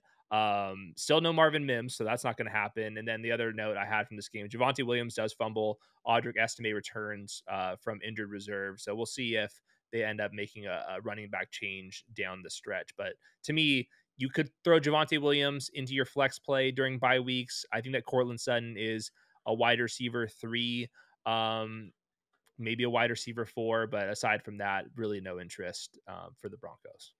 Detroit Lions. Uh, I love that we have always loved David Montgomery because yes. Dan Campbell loves him some David Montgomery. Did you see the line where he said, I wish I had played with someone like David Montgomery, Ooh. which is, you know, the ultimate compliment he can probably play pay any player in the league. Mm-hmm. Um, so this team is so balanced now, and they weren't to open the year, but they are now, where we know how successful, and as we spoke about earlier in the show, the running back usage, split that in half. It's still, you know, a lead back on one of 10 or 12 offenses across the league. So we know about that, Dave Montgomery and Jahmyr Gibbs. But on top of it, 30% of their passing plays this past game went for 15 or more yards. So you get the rushing success, and then you also get the explosive plays down the field. What more can you ask for? Yeah, we saw Ben Johnson go deep into his trick playbook in this one. They were basically trolling the Dallas Cowboys. Yes. It, it, it was on my radar that Jerry Jones uh, might have a head coach opening. Ben Johnson wants $25 million per year, and he empties the clip on all these trick plays. Sam LaPorta is the beneficiary of a, a touchdown off some trickeration, but they kept going back uh, to that well. So I thought that was interesting. And then, yeah, Jameson Williams scores a, a, long touchdown here. Tom Brady, yes, that Tom Brady mentioned that on that play, the the Lions use all this pre-snap motion. They uh, have a lot of personnel uh, looks. They use a lot of formations in general, and but on that play, they use tempo, quick snap, catch Trevon Diggs sleeping for a, a, long play for Jameson Williams. So it was just like a master class for for Ben Johnson here. Um, but they are so balanced that it's like a little bit more unpredictable on who's going to be the one to kind of score. Like Amon-Ra St. Brown's usage is down, Sam LaPorta's usage is down. And then we kind of gloss over this, but like Jahmyr Gibbs' usage is way down. Like this last month, yeah. He's a running back 19 uh, in expected points. David Montgomery is a running back 12. So it has been more of a flippening this year with Montgomery as the lead back. Gibbs is the one like kind of like looking for the secondary stuff. But so many weapons, and if if uh, with Aidan Hutchinson out for so long, maybe they get some shootouts where you know the other team can score some points.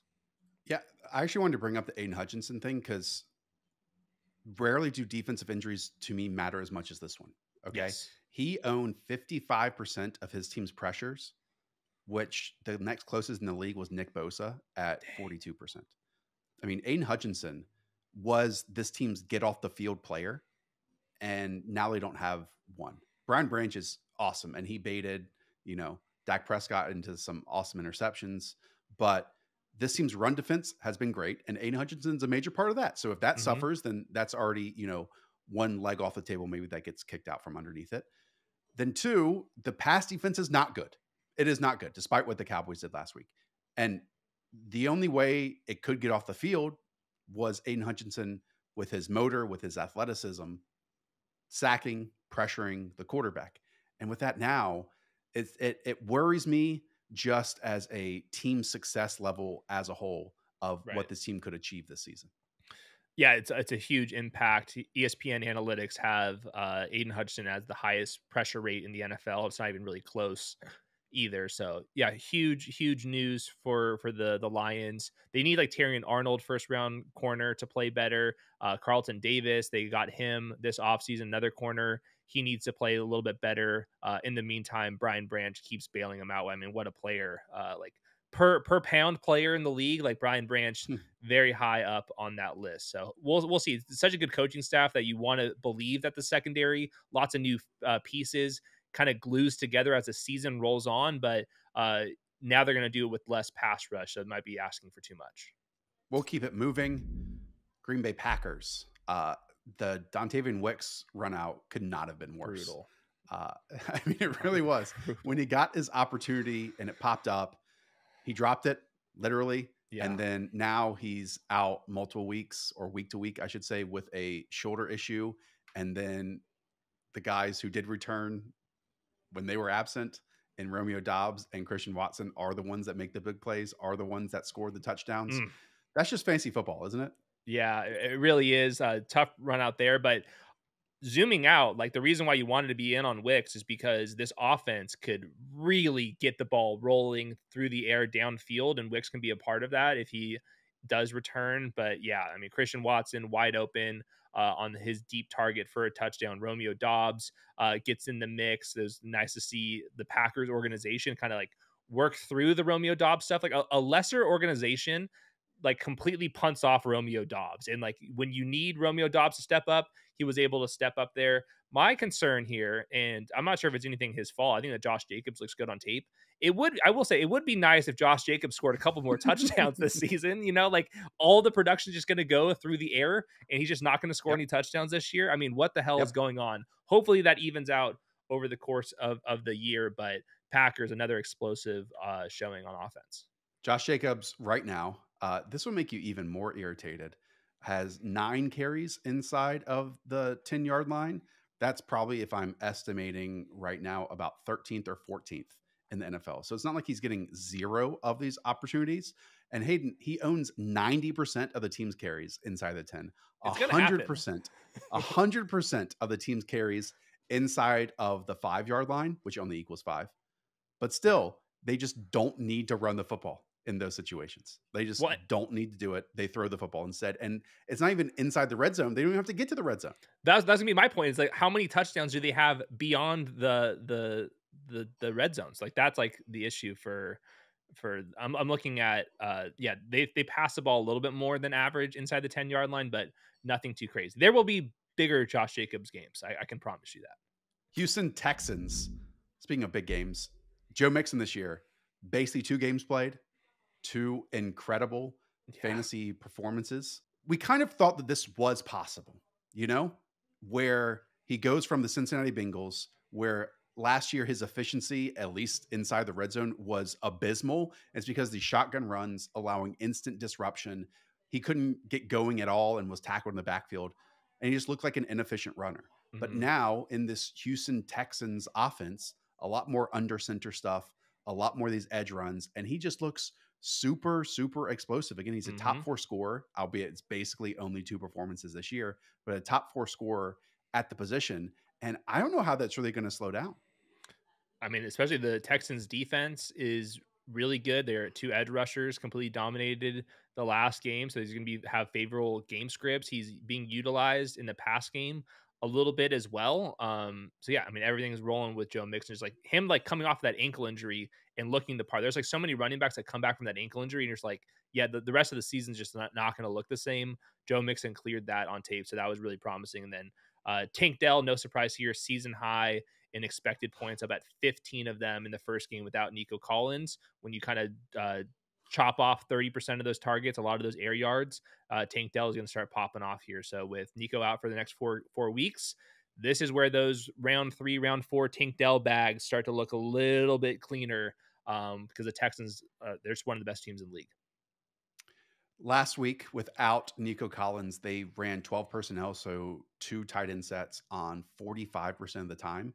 Uh, with Nico Collins, I believe that was down to about 31%. That makes so sense. it's only a shift of about 12 to 13, which might seem small. But I want to point out that 11 of those 30 plays and 12 personnel were actually in the first quarter. It wasn't because that this was a blowout against the New England Patriots, and they split it down the middle. It was 15 runs and 15 passes. So people, you know, started moving in the direction of Xavier Hutchinson and some of these other guys uh, just because they were running more and more three wide receiver sets this year. I don't know if that's the case. I think now they're going to be flexible like they were with their personnel mm-hmm. groupings with Nico Collins mm-hmm. last year, not just more so live out of three wide receiver sets after adding Stefon Diggs this year with Nico Collins out. Does that make sense to you? That that definitely does. Indianapolis Colts. I think we can say this. It's week seven. It's a certainty. Josh Downs is the most important wide receiver on the Indianapolis Colts roster. The way, and we loved him coming out of North Carolina, the way he like finds space, catches it, still gets up the field, creates on his own. It's a really cool slot receiver that you don't see a lot throughout the league. And uh, he perfectly fits with Shane Steichen. Yeah. The question that I'm now getting, Hayden, if he fits as well with Anthony Richardson as he does with Joe Flacco, because where he's at right now, he basically averages the same amount of points on a weekly basis as Mike Evans, Deebo Samuel, and Brian Thomas Jr. Uh, the people are nervous that with AR, it's going to get much, much, much worse.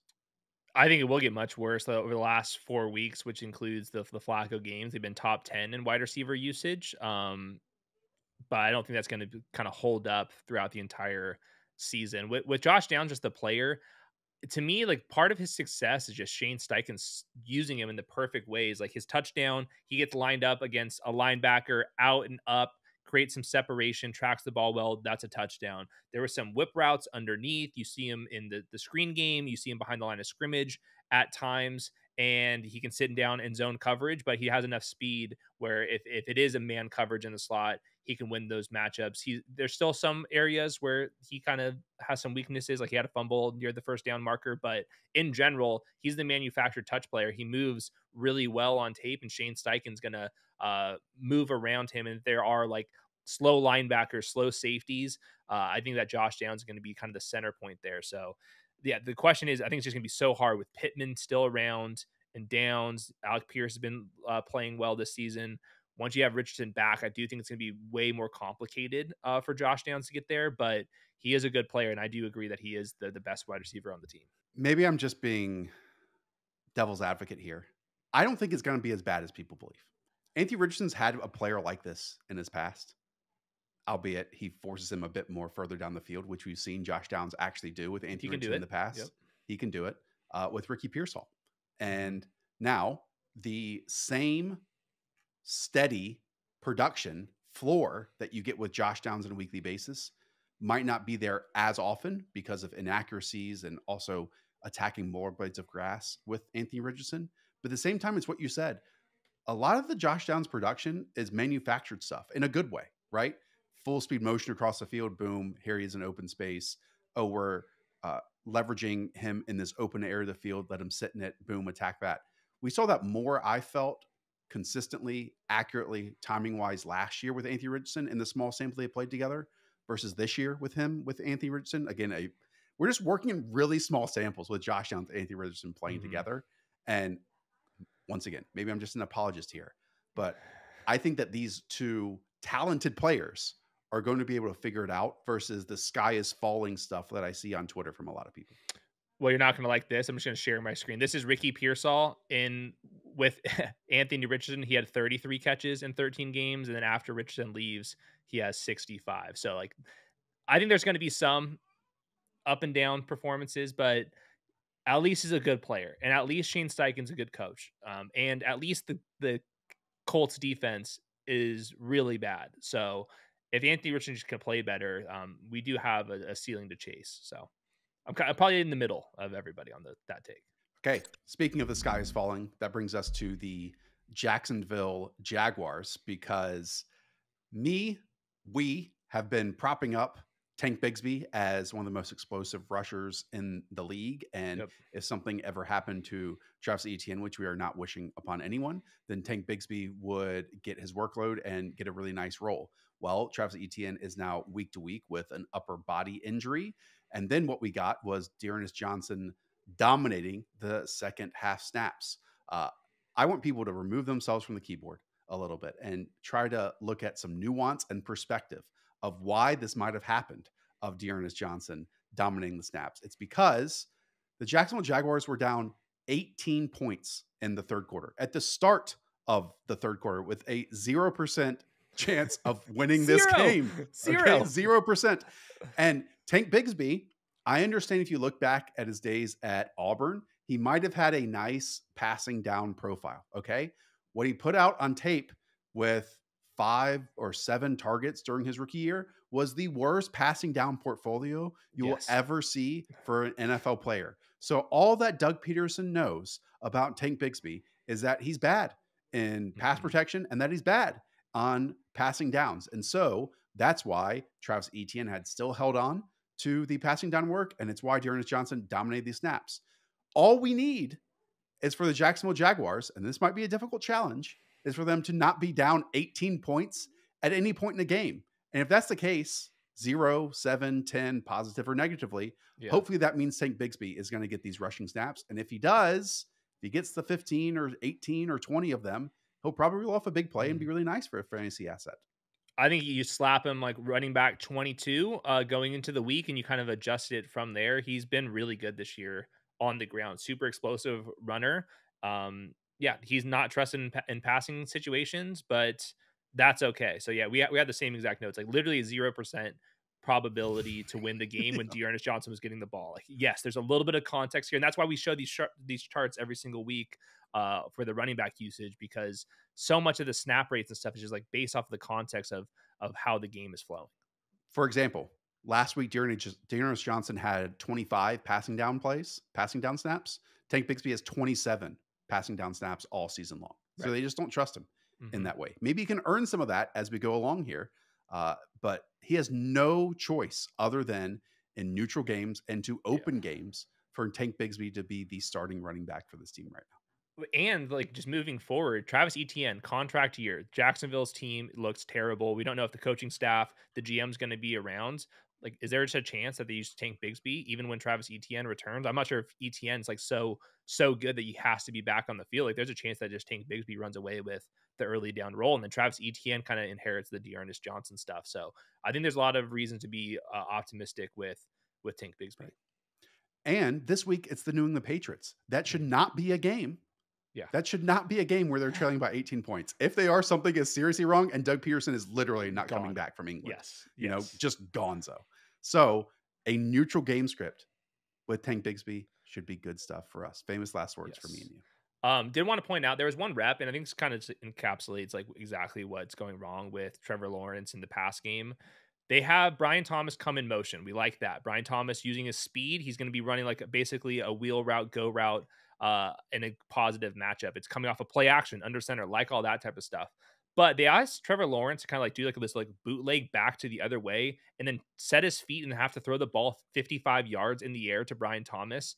That's just like asking Trevor Lawrence to do way too much. There's like way too many reps where things just look super difficult. We saw this last year. All those stats we talked about near catches in the end zone, always next to the sideline, contested catch situations. Well, part of the problem is because they're asking their players to make too difficult of plays. Like that rep would be a perfect opportunity where, yes, like maybe the bootleg look is going to help in, in some situations. But when you're going to be designing a play to Brian Thomas that far down the field, can we just do a regular play action and, and set that thing up? So Brian Thomas had his drops. Gabe Davis had a couple drops. Trevor Lawrence missed some throws once again. But I thought like that play was just like a, a rep where everything just looks so difficult for Jacksonville almost every single week. Evan Engram returns and immediately scores massive points for the tight end mm-hmm. position. I mean, 13.2. Uh, I would take off my pinky toe for that at some points this year, you know? Uh, I think that's legit because what we've talked about is in previous years, this team having a ceiling on top of them, but being quite good in the zero to, let's say, 16 yard range, right? That was Christian Kirk and that was Evan Engram in previous years. This year, when Evan Engram missed basically weeks one through weeks five, they were very good at throwing down the field, namely to Brian Thomas, but having zero ability to do the easy button stuff underneath. I think as soon as Evan Engram comes back, Hayden, this team, Oh for better or for worse, is kind of just going to spam him much more often than they have in the past. And also, we're getting way too much Gabe Davis inside the red zone and inside the end zone. He- He is among the league leaders in end zone targets right now. Yeah, and how, how many of those have has he been catching? Not not too many of them, man. It's it's a frustrating watch over there, and so I, I guess we'll learn was the Evan Engram stuff because there was a zero percent chance of winning the ball game, or was that something stickier? Also, want to note, I do think that Christian Kirk could be a trade candidate if they lose another game here. Um, everyone must go if they lose to the Patriots next week. Kansas City Chiefs, uh, they are coming out of their bye week. Typically, I asked, what do you want to see moving forward in this situation? Mhm. I actually want us to spend a little bit more time on this situation because to me, it's vital. It's really a vital situation for the rest of the fantasy football season. These are, I'm not going to say unserious names, but they're old names that we should not have to think about as massive fantasy assets in 2024. And I'm talking about Juju Smith Schuster and Kareem Hunt. But Hayden, the way they are being utilized in this offense makes me want to lock in Juju Smith Schuster as a Mhm. wide receiver two slash wide receiver three and Kareem Hunt as a running back two, despite them both being declining talents since the last five to six years. Am I off base on that and only relying on usage and role over talent at this point? But it's, it's usage and role attached to the like league leader in uh, success rate attached to Patrick Mahomes. So I think that there's some ways to overcome uh, some of these issues. So with Juju, I think that he was used, running a lot of the routes that Rashee Rice was uh, running. We saw some RPO slant stuff. We saw a, little bit of broken play potential. Remember that they have chemistry together, so like this isn't like signed off the street. There's some chemistry between Juju and Patrick Mahomes. Um, Kareem Hunt basically calling Isaiah Pacheco. Like that's the impression that we're going to get, especially because Carson Steele keeps fumbling the ball there. Travis Kelce, season high, 15.2 expected points in the one game without Rashee Rice. I think that's going to be the standard of the offense. Um, I think like if you're asking like what what am I looking for in this offense? Post by rookie bump Xavier Worthy on like a per target uh look at things through metrics, which isn't like the best way to do it. He's one of the most efficient players out there. He just has not getting enough targets. Is there a way to get him the ball a little bit Right. more? Are we going to see Mahomes like actually pull the trigger on these deep post routes, give Xavier Worthy a chance? Does he have a little bit more to him than this uh, either behind the line of scrimmage stuff or 40 yards down the field type of stuff? That to me is going to be the question. And they really need him to turn into more than that, or they're going to have to make a move at the deadline. So I'm sure that there are some fancy shows out there bringing up that post by rookie bump, things of the sort. Why can't we just get Xavier Worthy in some of the Rashee Rice middle the field stuff? Again, maybe I'm a simple brain type of person. Xavier Worthy's body just does not fit that styling in this Andy Reid, Patrick Mahomes passing game. Like it's choice routes, it's option routes, it's sitting in zone, and it's winning after the catch with like a big, tough body in that area of the field. I'm a fan of Xavier Worthy. I think he can actually do legit wide receiver stuff and run legit routes. I just don't see how he gets more than one or two extra targets in that area of the field and take on like a massive portion of the pie that Rashee Rice is left behind. I would say, like, if going back to this offseason, we know what Xavier Worthy was going to provide from his college profile. And I told you Rashee Rice and Hollywood Brown are gone, and it's a post by rookie bump. You and I would be throwing an absolute party for I Xavier. Worthy. So I, I think, like, yeah, your explanation might be like the most likely scenario. But in 40% of the times we run the simulation, there's a chance that Xavier Worthy really takes off in similar ways to she Rice down the stretch last year, where they're kind of gearing him up. And by the end of the season, he was absolutely dominating. So I would like to see these next couple weeks. Uh, I think a, maybe like the player I'm looking forward to watching the most the next couple weeks is Xavier Worthy, just Wow. because the Chiefs like desperately need him. Um, just a more explosiveness. Like they're successful. Their offensive line is good, but man, like they need like some explosive passes, and I think that he's the only answer because we know that Juju Smith Schuster is not going to be that. But I do feel like on some level, this team is just okay doing what they've been doing, you know, Yeah. like these little singles and maybe a double here or there. And Right. that's all that they feel like they need because Patrick Mahomes is playing that good of football. I mean, they're not even good in the red zone. It's unreal. They're 29th in the league in red zone touchdown success rate at 39%. That is unreal to have that number while also being one of the best teams in the league attached to it. Just quickly, if we get one easier catch for Xavier Worthy per game and a locked in two deep targets to Xavier Worthy per game, no matter what, I'll be a happy man on top of what we've seen so far. Like that's yeah. all I would want on top of it. And I, am not asking for too much with that. Mm-hmm. Yeah, I think if he flops and can't provide more than that, Christian Kirk, DeAndre Hopkins, like there's some other guys out there that the Chiefs should at least consider. Los Angeles Chargers. J.K. Dobbins looks really good. He like does, still man. looks really good. And I know he had a bye week and it's early in the season, but in every single fantasy show, it's okay when something happens to J.K. Dobbins. What if just nothing happens to J.K. Dobbins? You know, yeah. because what J.K. Dobbins is doing right now, and I know early season we got explosive plays and we haven't gotten that many in these last few weeks, but how he had this lack of wasted movement and was putting one foot in the dirt, overflow of a defensive pressure and and upfield disruption and then cutting back off it and finding a lane on like a third and two and a fourth and one to score yep. these touchdowns or create first downs. I mean, that's why they give him 25 carries in a game because mm-hmm. he's just the best running back they have, point blank, period. He's he's been so physical, he's been so explosive. I, I think like the last couple games have been just as bullish for J.K. Dobbins as like the first couple games when we when he proved that he was actually healthy. Like last week, season high in usage, 18.1 expected points. That's with Gus Edwards on injured reserve, and Kimani Vidal mixes in more on like passing situations. Kimani Vidal, let's be honest, he gets lucky that wheel route touchdown. Uh, this first touch of his career goes for a touchdown, but that's like not sustainable stuff. Um, so yeah, I'm with you, J.K. Dobbins. He's the the running back 10 in usage over the last four weeks and that's when the Chargers offense was looking really bad because of all those offensive line issues. That's still kind of a problem. Chargers offensive line's a little bit overrated because they're dealing with so many injuries right now. But Dobbins like getting like the bell cow usage that we did not see in the first couple weeks when Gus Edwards had this thing in a 50-50 split. Kimani Vidal is right. not going to have that. I think Kimani Vidal is a fun handcuff uh, because I do think he can do like a Blake Corum impression for Harbaugh. But you are right. J.K. Dobbins is way too sweet right now to be taken off the field uh, Vidal has not proven himself yet. And kind of what we talked about with the Chicago Bears, for example, based on who they've played and how they've performed. The first two games of the season where J.K. Dobbins went off the Las Vegas Raiders and the Carolina Panthers. Easy stuff, right? Mm-hmm. These last three weeks, and let's also include a Justin Herbert injury and namely the offensive line injuries. It's the Pittsburgh Steelers, the Kansas City Chiefs, and the Denver Broncos. Three really strong defenses. Okay. This week he gets the Arizona Cardinals. There we go.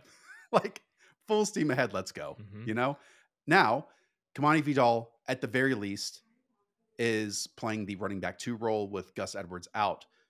In a perfect world where J.K. Dobbins is healthy for the next three games, what do you think is the max touch workload that we could get out of Kimani Vidal, or does it even Nothing. matter? And this is and this is the only play that truly does matter towards the end if if he does take on the full workload due to injuries to anyone else. He's a handcuff only. Like it, it, you're not playing Kimani Vidal right now. Like even even if you like him, your best ball, uh, week 17 is the only thing that matters, and you're happy that Kimani Vidal is on the field scoring touchdowns. Yeah, it's it's a little bit rich. He's he's a deep league only type of play in my in my opinion right now. Uh, did have this note though. Uh, just Chargers, just Greg Roman in general. Like looking at neutral pass rate, no surprise. Chargers uh, bottom four in neutral pass rate. But inside the 10 yard line, they're actually number two in uh, their wow. pass rate. What the hell is going on? Like, could we just like get that to flip? I'm sure I'm sure that's like a small sample size, but that was like weird to see the Chargers inside the 10 yard line pass the ball a little bit more than run it. So hopefully that means more J.K. Dobbins stuff once that kind of settles out over the next couple weeks. Ladd McConkey looks great. Yes, looks very good. L.A. Rams, uh, they are coming out of the bye week.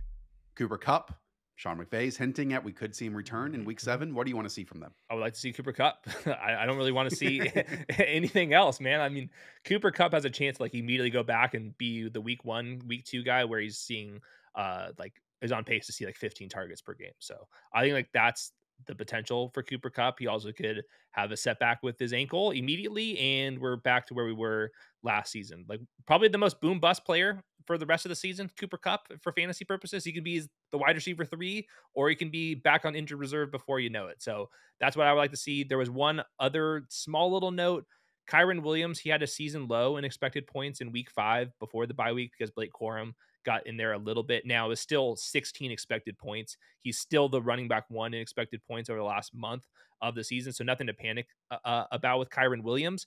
But Blake Corum, like a must pick up today. Like don't wait for Kyren Williams to get injured. Don't wait for some weirdness to pop up with Blake Corum this next game coming off of the bye week. Now is the time to pick up Blake Corum. Make sure he's on all your rosters. He's better than the wide receiver five or the tight end two that you have. Blake Corum has like a chance to like win you your league um, if the Rams offense can kind of click uh, once they get their wide receivers back. You might have said this, but isn't that kind of comparable to the backfield though that we just talked about, where when healthy, Kyren Williams gets all the work that J.K. Dobbins does, and even mm-hmm. more so. I mean, they run the heck out of the football when they get to the yep. red zone, so it's even more elevated.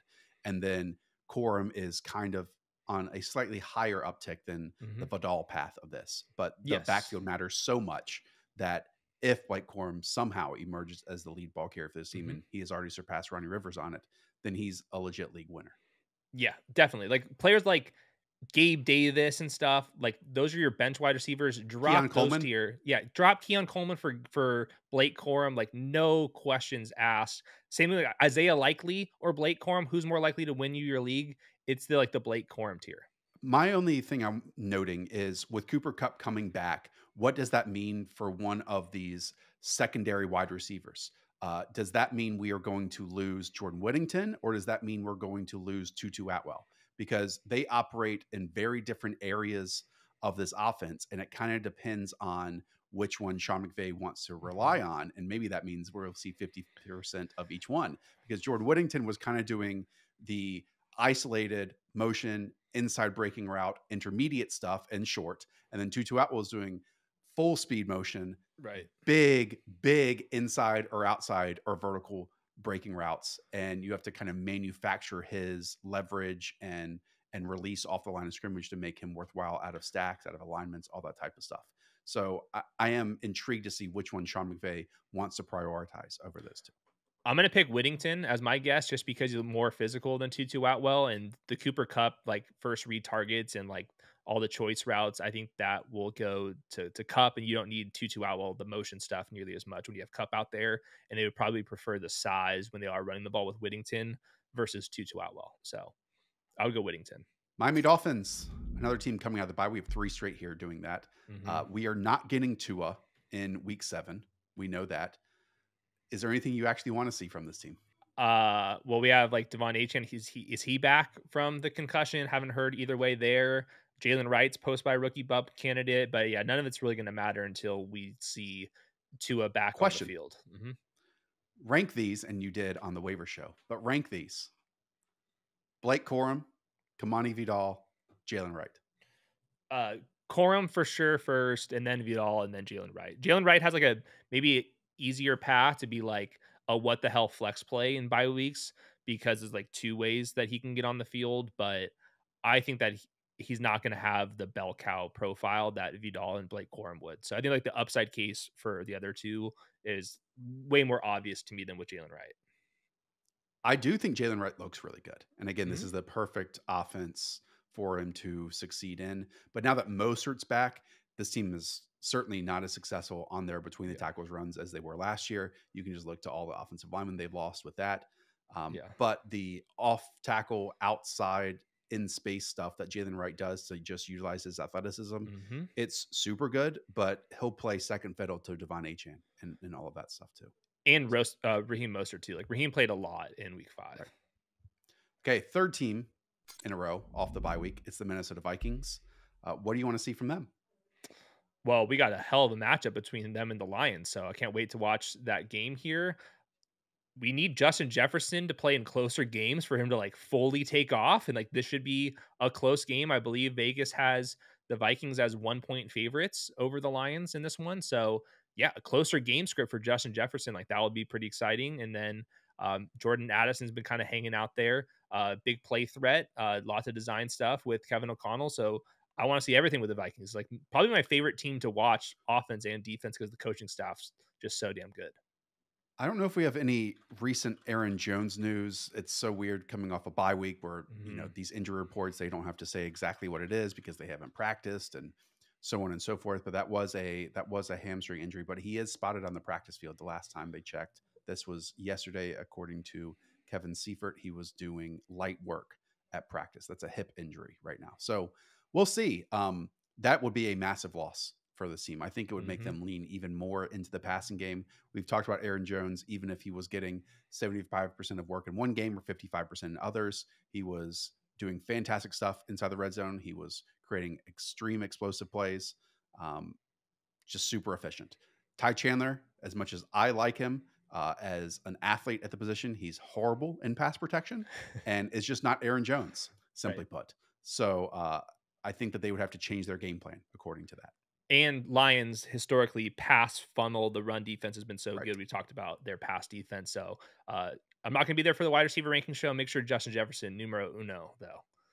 It's going to be uh, the only person that's been able to run the lines this year is Kenneth Walker.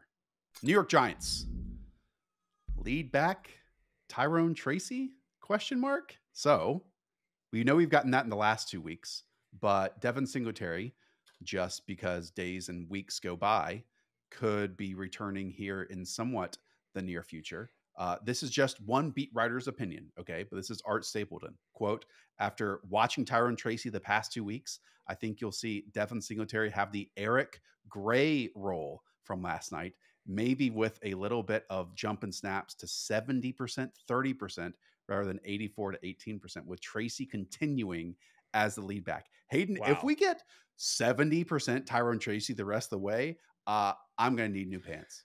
Yeah. Uh, this is possible, but um, as a reminder, Devin Singletary was leading the NFL in missed tackles, car- uh, missed tackles force per carry before his injury. So it's not like that Devin Singletary's played so bad. I watched Tyrone Tracy.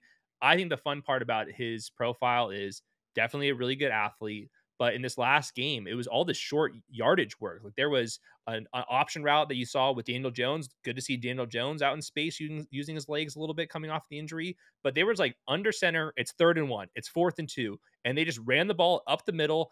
Tyrone Tracy picked the right hole and he consistently pulled it off. So we didn't see like a bunch of like force missed tackles in this game, but it just shows like a, a well rounded like uh skill set for Tyrone Tracy. Yeah. I mean, like that he can he caught a bunch of passes out in the flats, was able to pick up some first downs there, but he was also used in the short yardage role. So I'm not going to go as far as Stapleton is, is suggesting here. I think Devin Singletary has too much trust with Brian Daboll, even going back to Buffalo. But you aren't taking Tyrone Tracy off the field. It's going to be a very 50 50 split. And the Giants probably aren't a good enough offense if it is near 50 50 to have either one of these guys as RB2s. But man, I've been super impressed with Tyrone Tracy like just moving forward. He's an NFL player. I feel very confident in that. He's a running back nine in points per game over these last two weeks combined. I mean, hell yeah. This is what makes football fun, you know? Mm-hmm. Like I love watching the games each and every week, but when you go and watch these draft prospects and a guy gets taken in the fifth round, and I understand his profile is questionable and they don't care about running backs anymore, and he was 24 years old or whatever and played one year at running back at Purdue.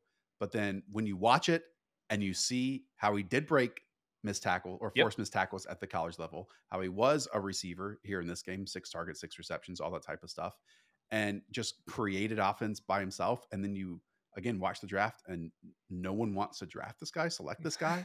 and then has earned this spot and then looks amazing in it. There's like yeah. no feeling. There's no feeling that's better with mm-hmm. it. So. I hope this lasts.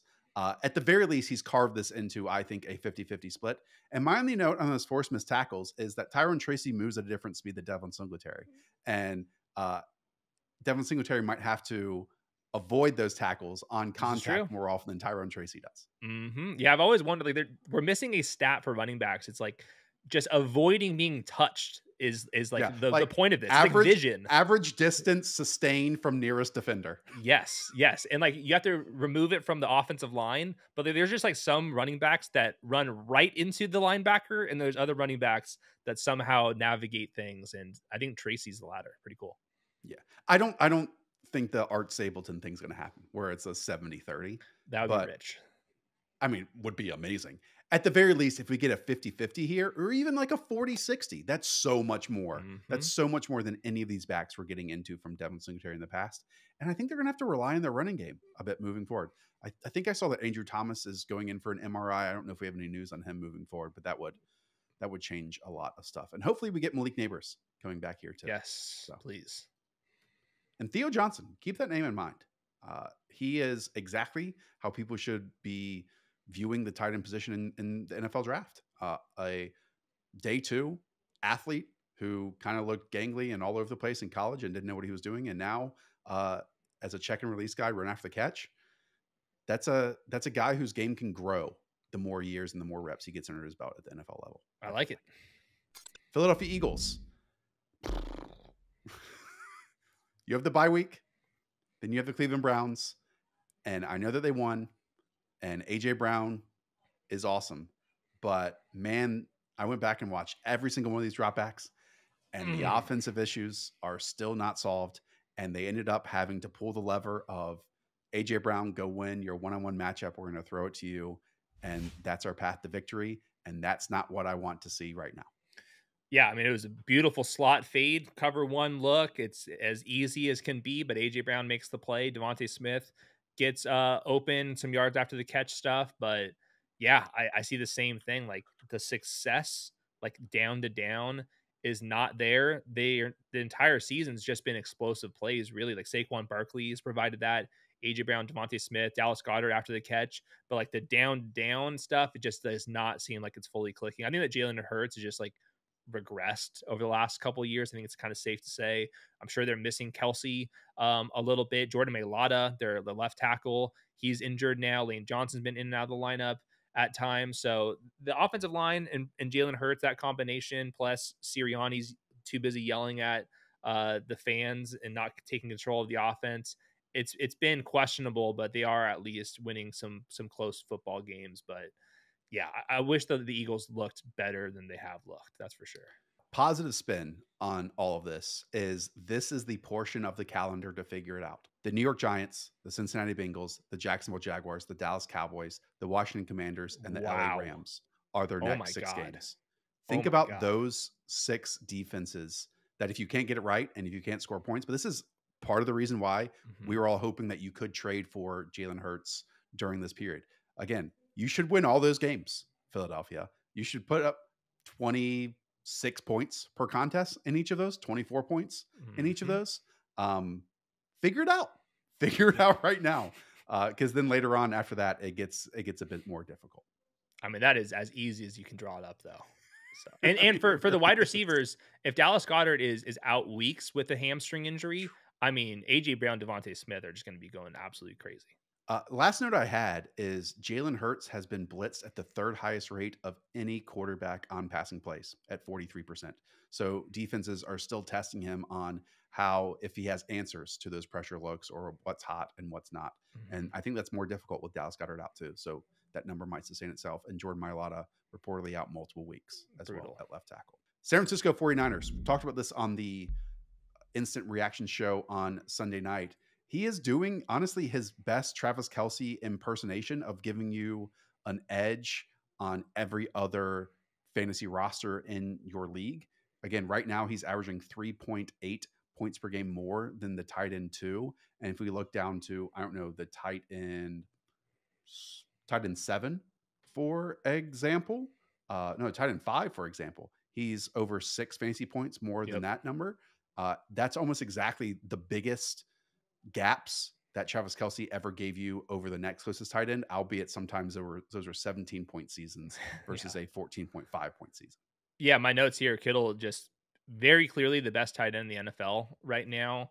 That and uh, Brock Purdy's been playing better football uh, this year, and it's kind of weird because like the offense isn't completely firing on all cylinders. But to me, like Brock Purdy is showing so much with this pocket movement. That out route to, to George Kittle was thrown right on time in the perfect exact spot. And there was also a nice dig route versus uh, zone coverage to, to Brandon Aiyuk. So you're getting the timing with Brock Purdy, but you're also just getting more pocket movement from uh, Brock Purdy. So did want to shout him out, but yeah, I'm, I'm I agree with you. Like George Kittle has been the best skill player on the team pretty clearly this entire season. Aiyuk very inconsistent, more uh, bad than good. Deebo Samuel in and out of the lineup, and then now with Jordan Mason dealing with a shoulder injury, it's it's pretty obvious George Kittle's like the most important player uh, on the team right now, aside from Bosa and Williams. Thoughts on Isaac Guerendo? Yeah, 18 of his 23 carries have been outside zone. A lot of those have been pitches as well. This is exactly how he was used in college. This is uh, De'Von Achane as a rookie. This is Jaylen Wright. It's, you're dealing with the same exact uh, type of skill set with Guerendo. I don't trust his vision per se, but fast guy with Trent Williams uh, out in space, like you can get some explosive carries here. So I think that if if Jordan Mason does miss and it is Isaac Isaac Guerendo as a lead back, I think we're gonna get more Deebo Samuel as the running back, which has been really good for Deebo Samuel whenever he kind of has that like a hybrid running back wide receiver role. Um, I don't think they trust Isaac Guerendo to be like the Jordan Mason because they could use all the run schemes so far. Isaac Guerendo point him to the perimeter and hopefully he takes off. But we saw that work down the stretch. This will be the last time I cite this number in this episode. But San Francisco, we know last year led the NFL in red zone touchdown rate at 68%. This year, it's not even close to that. Uh, they are 25th in the league at wow. 44%. Uh, a major part of it to me is we saw, I think in the first or second series this past Thursday was a red zone target for Jordan Mason that just did not work. Think yep. about all those red zone targets that we got to Christian McCaffrey and those equaling touchdowns, either manufactured or making a person miss. Mm-hmm. Is naturally a Christian McCaffrey target it earn you more than a Jordan Mason yes. target. So I do wonder if they are able to script some cool plays to Deebo Samuel more so in the red zone and inside the 10 and inside mm-hmm. the 5 and if that adds anything up to it cuz right now it's like George Hill in the red zone and that's about it. The 49ers also another kind of like point when we talk about regression in the offseason and we know these players and teams are good but when they like were so dominant we still have to like note that the regression could be happening negatively. We see that with Brandon Aiyuk, who is like what 11 yards per target, the most efficient EPA wide receiver in the league completely falls apart. De'Von Achane uh, with the Dolphins, the most uh, efficient player we've basically seen at running back, now one of the most inefficient running backs uh, this season. So like the year over year stuff can be so fluky with some of these efficiency stats. And Brandon Aiyuk, I would say like my worst take of the offseason was like drafting him at the round two, three turn. That was just banking way too much on efficiency. He's never been the volume back or volume hog and we're seeing it now. You remove some of the efficiency, and he's been like basically unplayable in fantasy. Ooh. I'm I'm probably more optimistic than you are, but I agree that the the oh, I'll also start him, but like he's had one yes. good game out of what five? Yes, yes. So uh, I agree, I agree, especially with his quarterback playing better too. Yes, uh, and I'm uh, been pretty pilled since about his third start in the NFL, and it's pretty amazing what he's doing now. Okay, yes, Seattle Seahawks. Uh, this team, simply put, went from last in the NFL in plays per game last year to first in the NFL in plays per game this year. That's about a 10 play difference right now. Uh, yeah, it's also new code. um, despite that, I mean, the, the JSN efficiency or metronome just kind of isn't there. I think we kind of understand who he is as a talent now. Mm-hmm. And despite being the wide receiver one in his draft class, I mean, if you just lined up, this is going to sound awful.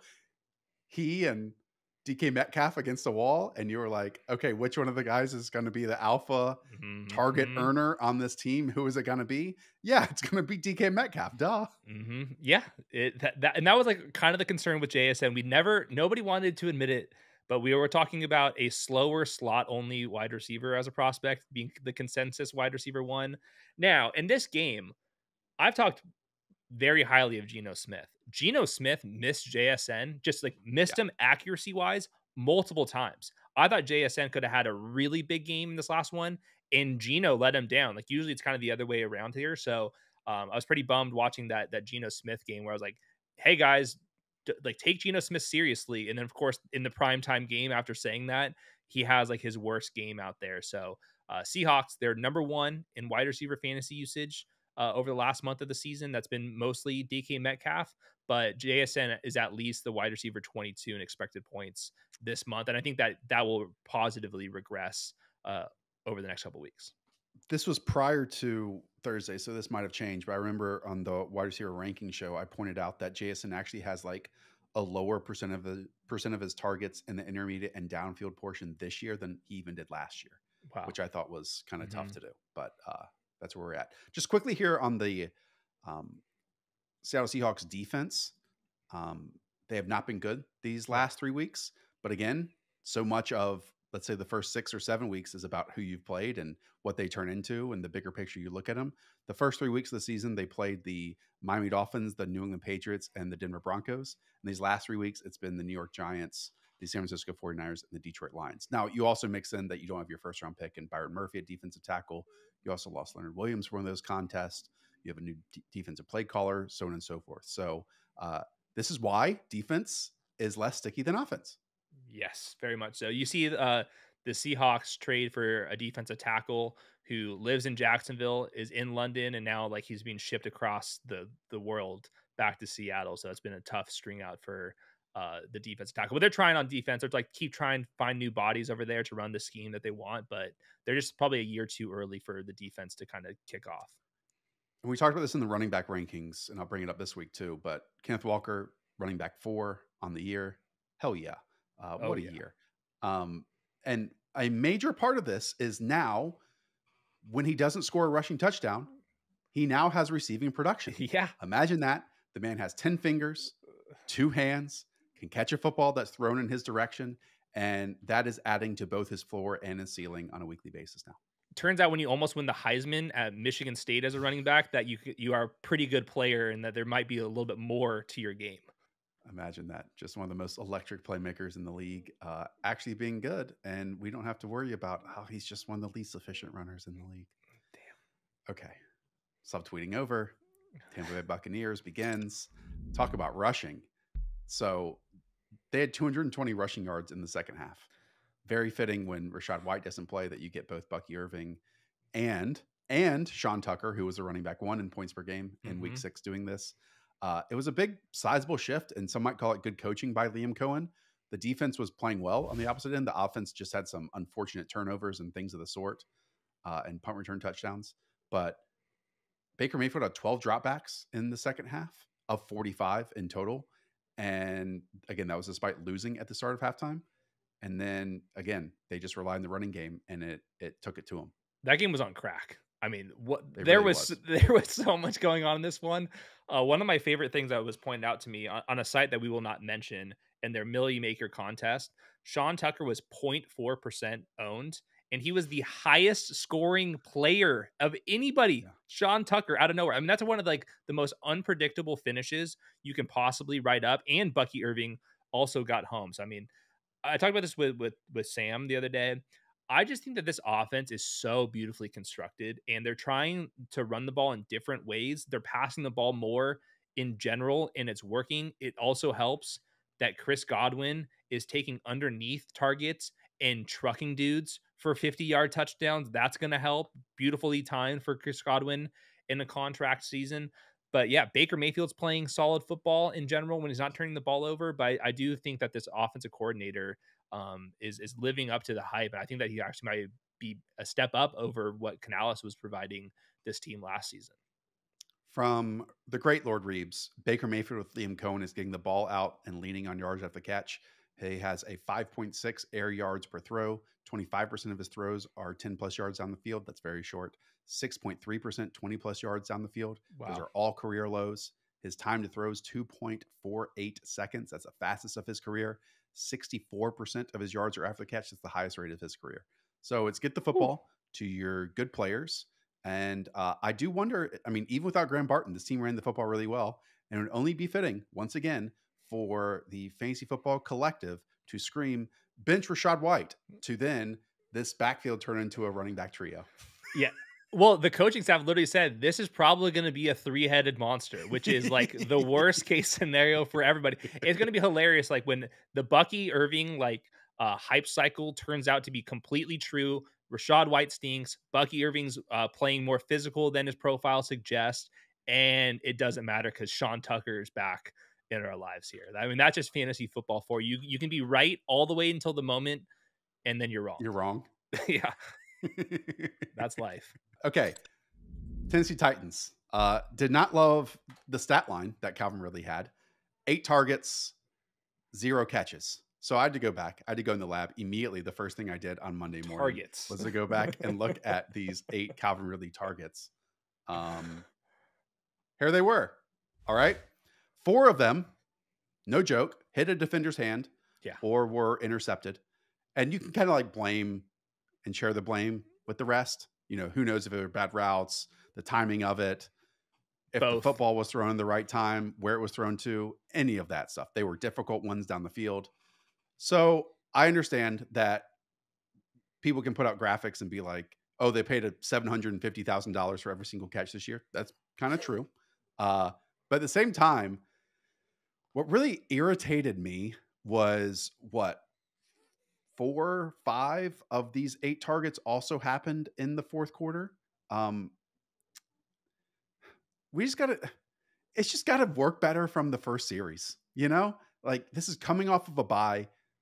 This one was supposed to be the player who could create the explosives for you, you know? And they just had no answer to open it in the opening script. And Yeah. Titans fans are already pissed at Brian Callahan. I mean, it's the quarterback's fault. Let's be honest here. And they're like 30th in pass block win rate as well. So the offensive line is failing. Will Levis is is failing. Yeah, some of those targets like they should be targeted to nobody. They or target the linebacker. Give the linebacker a damn target on on some of those reps. So it's it's been pitiful. Um, I think some of those were bad routes from Calvin Ridley, but not all of them. Most of this is with Will Levis. So I'm, I'm curious how much longer they're going to try with Will Levis. I think at this point, I've seen enough, and the Titans are going to be in the market for whatever quarterback kind of steps up uh, in the college ranks over the next couple we- weeks here. I think they should be moving DeAndre Hopkins um, shortly. We'll see, but it, this is just a dysfunctional offense. Like I, aside, Calvin Ridley made that insane catch against uh, Sauce Gardner, Jets, where S- yeah. Sauce Gardner like still doesn't know that Calvin Ridley caught that ball. But aside from that, there's been nothing in the past game. Eh, We're going true. into Halloween. Did you see that Derrick Henry has more rushing yards than Will Levis has passing yards this year? I mean, unbelievable, but believable. I mean- honestly, believable. It- it- it- actually, extremely believable. It is a Will Levis issue. It's a Brian Callahan issue. It can be an offensive line issue. It's a Calvin Ridley issue. But like again, that encapsulates everything that's going on with the one and four Tennessee Titans here Yeah. at this moment. So, Yeah. okay, Washington Commanders to close this thing. I have some insane numbers to look Hit at me. here, and the first one is from the great Richard Ebar. We always talk about how sacks destroy drives and your opportunities to score points Mhm. on that series for everyone but the Washington Commanders. Okay. Washington actually scores on average the same number of points on drives where they have no sacks at 3.24 as they do with a sack on that drive at 3.23. Look how much of an outlier that is compared to everyone else. the next That's closest unreal. team when they take a sack on that drive is the Cincinnati Bengals at 1.86. Now, there are a couple theories here. One, obviously the explosive plays and how good the offense has been right now. Two, maybe these sacks aren't six yard losses, they're one yard losses or two yard losses by Jayden Daniels. But just as a whole, as sweet as this is, you don't want to live in this world for the rest of the season. Uh, it can work for six weeks. It's tough for that to work for 16 weeks, but I don't even want to think about that. That's just one of the most insane numbers I've ever Yeah. seen. yeah, you just don't see like outliers to that level versus the entire league. But this offense, man, is just like everything's firing. Like even this game, they lose. Like the Baltimore Ravens, just a, a more veteran team, better defense, certainly. Jayden Daniels still looked really good. Cliff Kingsbury looked awesome. Terry McLaurin, same thing. Jayden Daniels leading the NFL in EPA and completion percentage over expected. They're sixth in success rate. But there was like four plays with Terry McLaurin on his uh, catches this last game that kind of caught my attention. We had like a little mini motion into like a kind of a pick play for a touchdown against man coverage. Cool concept. We saw a fake bubble screen in trips. Then you get Terry McLaurin. He's kind of leaking out wide open, takes a huge hit, catches that. We have a back shoulder touchdown at the goal line that Terry McLaurin wins out. And then we have play action under center, zone coverage over the middle, Jayden Daniels winning. The commanders are kind of throwing like a lot of different things at you, and you kind of see like a new addition every single week. So I know they lost this game, but I was extremely impressed with Jayden Daniels, Cliff Kingsbury, and Terry McLaurin, uh, even in a loss. This isn't the same offense they were running in week one. This isn't the same Agreed. offense that they were running in, in week two. And they've been, you know, they're four and two, so they've been a winning team throughout. But it's awesome that even when they were winning those games or close in those games, that they're not just running the same thing on a weekly basis, that they are upgrading, that they are leveling up. They're doing all the things that we want them to. And Cliff is even doing uh, things that he wasn't doing back in Arizona or USC or Texas Tech or any of these places, you know? Um, final stat here of the day 53.5% of Washington's plays have been considered no huddle by PFF this year.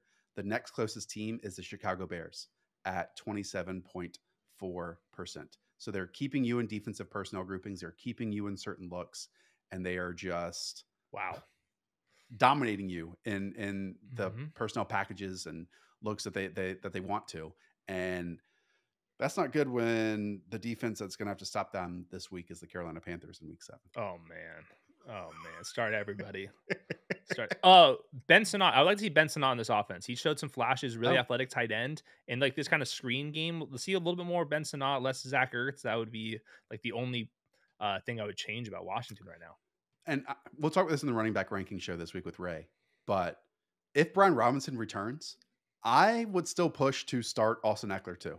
Like, yeah. again, this Panthers backfield is giving up 25 rushing points per game. I believe, I believe Derrick Henry leads the NFL with something like 15 rushing points per game. So, or 18 rushing points per game. So, you're getting a Derrick Henry plus performance on an every week basis of running backs facing the Panthers and Ekeler's been like on a per touch basis, like one of the most efficient yep. running backs in the damn NFL. All right. Good shot. That does it. Before we get out of here, this is our longest stats versus film of the year. Who would have known? Some massive contracts, some massive trades, and some new quarterbacks would take us here. Before we get out of here, uh, you support us. Thank you so much. Hitting that subscribe button, thumbs up. We know this is a weird por- portion of the calendar for fantasy football where some people drop away. We appreciate everyone who tunes into this episode and go support Underdog because they allow us to have this award winning program for all of you. Use promo code the show or just click the link in the description down below and play pick 'em. Do battle royale drafts every single week. It is the place to play while watching football, basketball, baseball, esports, whatever suits your fancy. Promo code the show for Hayden, for Winks. I'm Josh, up the Vela. We'll talk to y'all soon. See ya.